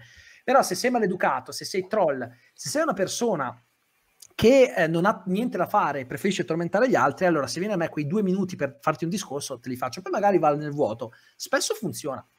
No, sempre infatti... rimanendo sempre nei ranghi, eh, senza mai eccedere, ovvio, perché quello è sbagliato. Se no vai dall'altra parte, però... No, no, assolutamente. Poi eh, voglio dire, a me il cosplay ha portato nonostante i numeri, tante belle soddisfazioni anche perché io ho deciso di non, mm, non vendermi al sistema, no? nel senso ho sempre rifiutato quello che non mi piaceva, eh, ho, sempre, ho, sempre, detto io per me valgo tot, quindi sotto quello non sono disposto a scendere come richieste, anche come io ho rinunciato a lavori strapagati perché non mi piaceva essere accostato a quel tipo di organizzazione idem, come la pensavo. Assolutamente idem, perché tanti soldi sono una cosa che va, va e viene, la, la dignità e la credibilità no. Quelle una volta Bra- che le hai perse, le hai perse. Bravissimo, bravissimo. Sempre, preferisco avere qualche, qualche, euro in meno, mm, ma mantenere il mio livello di dignità. Bravissimo. Mai scendere sotto un certo livello perché altrimenti... Bravissimo. E nonostante... non la recuperi. Bravissimo. E nonostante tutto io comunque ringrazio le persone che, che mi seguono calorosamente perché proprio grazie a loro, magari ti faccio un esempio stupido, eh, mi hanno segnalato alla costumista di The Boys e la ah. costumista di The Boys abbiamo iniziato a parlare e mi ha fatto dei complimenti incredibili sul costume e mi Beh, segue e mi segue. Ho avuto una chiamata di 20 minuti con Anthony Starr e Jack Wade che me l'hanno richiesta. Oh, complimenti. Eh, quindi, quindi cioè, ancora deve esordire quel costume in fiera. Questo lo devo molto anche grazie a loro. Cioè, se non mi segnala Anthony Starr ha esordito dicendo io ti conosco. Mi hanno parlato di te, eh, io ho visto le tue foto, finalmente ci conosciamo. Cioè, lì io sono io penso me, che sarei so, morto. Non, non, me, sono squaglia, squagliato. Però, complimenti. Eh, que- vedi, queste soddisfazioni sono però... meglio di qualunque altro placement che puoi fare con una grande Le porto qua, le porto qua veramente sempre con me. Ehm... Quello che ti dicevo, magari un giorno questa cosa finisce, mi auguro di no, per magari sai, la, la, vita si cambia, eccetera, però ti porterei sempre dietro quel momento in cui è stata detto che ti conosceva. Sono soddisfazioni per qualcosa che hai fatto tu con le tue mani, che hai fatto tu da solo, cioè poi col tuo team. Sì, con il team di, di, maker. Eh, sì. Però capisci che sono soddisfazioni. Assolutamente, infatti io me la, sono, eh, me la sono registrata, ogni tanto me la guardo e, e, c'è stato un pezzo di quella videochiamata per dirti che persona umili, cioè persone veramente che, che importanti umili, dove mi ha guardato, eh, mi ha fatto una marea di complimenti, ha detto quel costume, è, te lo dico io che l'ho indossato, è quasi la perfezione. Uh, la Madonna, che, che, bello! Detto da Anthony Starr, che è un personaggio che tu interpreti non perché voglio far soldi, ma per sì, me l'ha chiesto magari l'agenzia lavora per Prime, però l'ho deciso di farlo perché eh, mi piace. Detto esatto. da una persona così che interpreta e dà vita a quel personaggio, per me è una soddisfazione molto più grande di qualsiasi coppa in una gara cosplay potessi... Sono assolutamente d'accordo con te. Quindi, no, mi fa piacere innanzitutto che hai accettato eh, di essere qui. Ti ringrazio anche per le belle parole perché per noi significano molto e stiamo cercando di, di, di, offrire verità, diciamo, dei verità. contenuti. Innanzitutto a livello cosplay perché è il nostro ambito e poi di allargarli perché mh, mm, eh, ci, piace, ci, piace, avere una, mh, mm, contenuti, diciamo, non voglio essere supponente, però mh, mm, di una certa qualità con una community che, che è sana che è sana, a prescindere poi da qualsiasi risultato tu possa Sono d'accordo con te. Grazie Victor. Allora eh, sono, sono, due ore e mezza e andrei in chiusura. Eh, sì, sì. Aspettiamo 30 secondi, Mauro. Eh? 30 secondi. Di che? Perché? Eh, chissà eh, perché. Eh, perché... Ah, raga, è il mio compleanno tra 30 secondi. Oh, oh è vero, me lo, me lo, stavo completamente dimenticando. Dai 30 secondi così vi... Io non lo sapevo. Beh, ma mi lo stavo scordando anche io, cioè pensa un po' come... Ragazzi, è vero, tra 30 secondi è il mio compleanno, il 5 gennaio. Eh, ragazzi, pensa, pensa, faccio, pensa. Mi, Festeggeremo faccio... con una doppia live perché questa finirà sì, esatto. a mezzanotte. E poi abbiamo la precedente alle 9 e mezza, va bene, va bene, però... Sono contento, sono contento, di passarlo con voi. Intanto mi prendo questi minuti per andare in chiusura, per salutare Victor, per ringraziarlo e dirti che veramente eh, io, io, ti dico la verità, non, non, non, ti conoscevo moltissimo, mi hanno sempre parlato benissimo di te e da, da un mesetto ho iniziato a guardarti molto, a seguirti, ma io non ti seguo. Mi fa piacere, grazie. E, mh, mm, veramente tanta stima per quello che fai perché eh, trovare contenuti di qualità dove uno dice la propria senza nascondersi, però essendo comunque rispettoso è veramente molto difficile. Ah, questo... Tanto ti faccio gli auguri visto che mezzanotte. Auguri, grazie, auguri, grazie auguri, ragazzi. Chiara, Tola, dai, ti, ti, ti, ti non so come chiamarti amore, no, no, no vabbè, tola. Grazie mille Gic, Ciccio, ragazzi, Carasu. Gra- grazie ragazzi, grazie mille. Ci vuole il coraggio di Mattia, eh, lo so, e, e, per quello ha tanta stima. Cioè, persone che dicono la propria nel modo in cui lo fa lui, e non lo dico tanto perché in chat, perché io grazie, ho avuto persone live che gli hanno dette peste e corna. Ma io eh, ho imparato che, guarda, io ho avuto tanti problemi quando ero ragazzo perché sono nato in una città che è una cittadina di provincia, ma essendo a Rona, sul Lago Maggiore, essendo mm. turistica, è comunque, sembra Rimini, se tutto l'anno, tipo la domenica non cammini sul corso, sul, budello, non ci cammini. Eh, e come tutte le città di provincia, un po' più piccole, cioè poi comunque abbiamo 20.000 abitanti, quindi non è proprio minuscola, è vicina a Milano, perché è al confine con la Lombardia, anche se in Piemonte, quindi insomma, eh, però le, come tutte le città di provincia eh, c'è un po' una mentalità un pochino chiusa e io da ragazzino sono sempre stato com- come mi vedi adesso, solo con i capelli più corti, più magro, mm-hmm. però ero quello considerato sfigatino e io ho avuto un periodo in cui per, qua erano tutti tamar, mm, ta, quelli che comunemente si dicono tamarri, no? i vestiti con la serie Richmond sì, sì, che andavano una volta e anch'io mi adeguavo anche se non era, era proprio come se indossassi una pelle che non era mia e anche a livello di pensiero mi adeguavo al pensiero della gente, ma mi faceva schifo perché non era quello che pensavo io. A un certo punto mi sono detto, senti, ma tanto perché ti devi far accettare? No? Ho detto, devi essere te stesso. Quindi io cerco sempre di dire la mia, sempre rispettosamente, perché tanto alla fine dire quello che gli altri vogliono sentirsi dire non serve a niente. La cosa migliore, cioè anche se ti considerano quello strano, ma a me non me ne frega più. Cioè, me ne fregavo una volta quando ero ragazzino, adesso non me ne frega più niente posso sembrare strano magari se dicono qualcosa, bene, affari tuoi, cioè io sono come sono e quindi cerco sempre di dire la mia senza filtri ma sempre con rispetto, perché comunque quello è la cosa più importante. Assolutamente, questo si vede, quindi ancora complimenti. Ragazzi, grazie mille per gli auguri. Cara Susarte ti fa molti complimenti eh, colonna portante di YouTube. Che lo ringrazio perché lui mi ha fatto un bellissimo disegno in stile Tim Burton, quindi lo ah. ringrazio. Ah. l'ha scritto prima, non, mi, non, sapevo fosse lui, quindi grazie veramente. Ah, bene, bene, mi fa, mi fa, piacere. Allora ragazzi, grazie mille ai nuovi follower, grazie mille a Victor, grazie ovviamente ai moderatori e alle, a Gic che non c'è, però lo ringraziamo, e Lucio e Andrea che sta, sono stati con me. Ci vediamo domani, eh, episodio del live salotto. Eh, mi raccomando, seguite, se non lo fate ancora, seguite Victor perché Grazie. ve lo assicuro io e non mi espongo quasi mai, non ve ne pentirete. Grazie, eh, veramente. Grazie per figurati, figurati. Ragazzi, buonanotte a tutti. Grazie ancora, ci vediamo domani. Buonanotte. Buonanotte.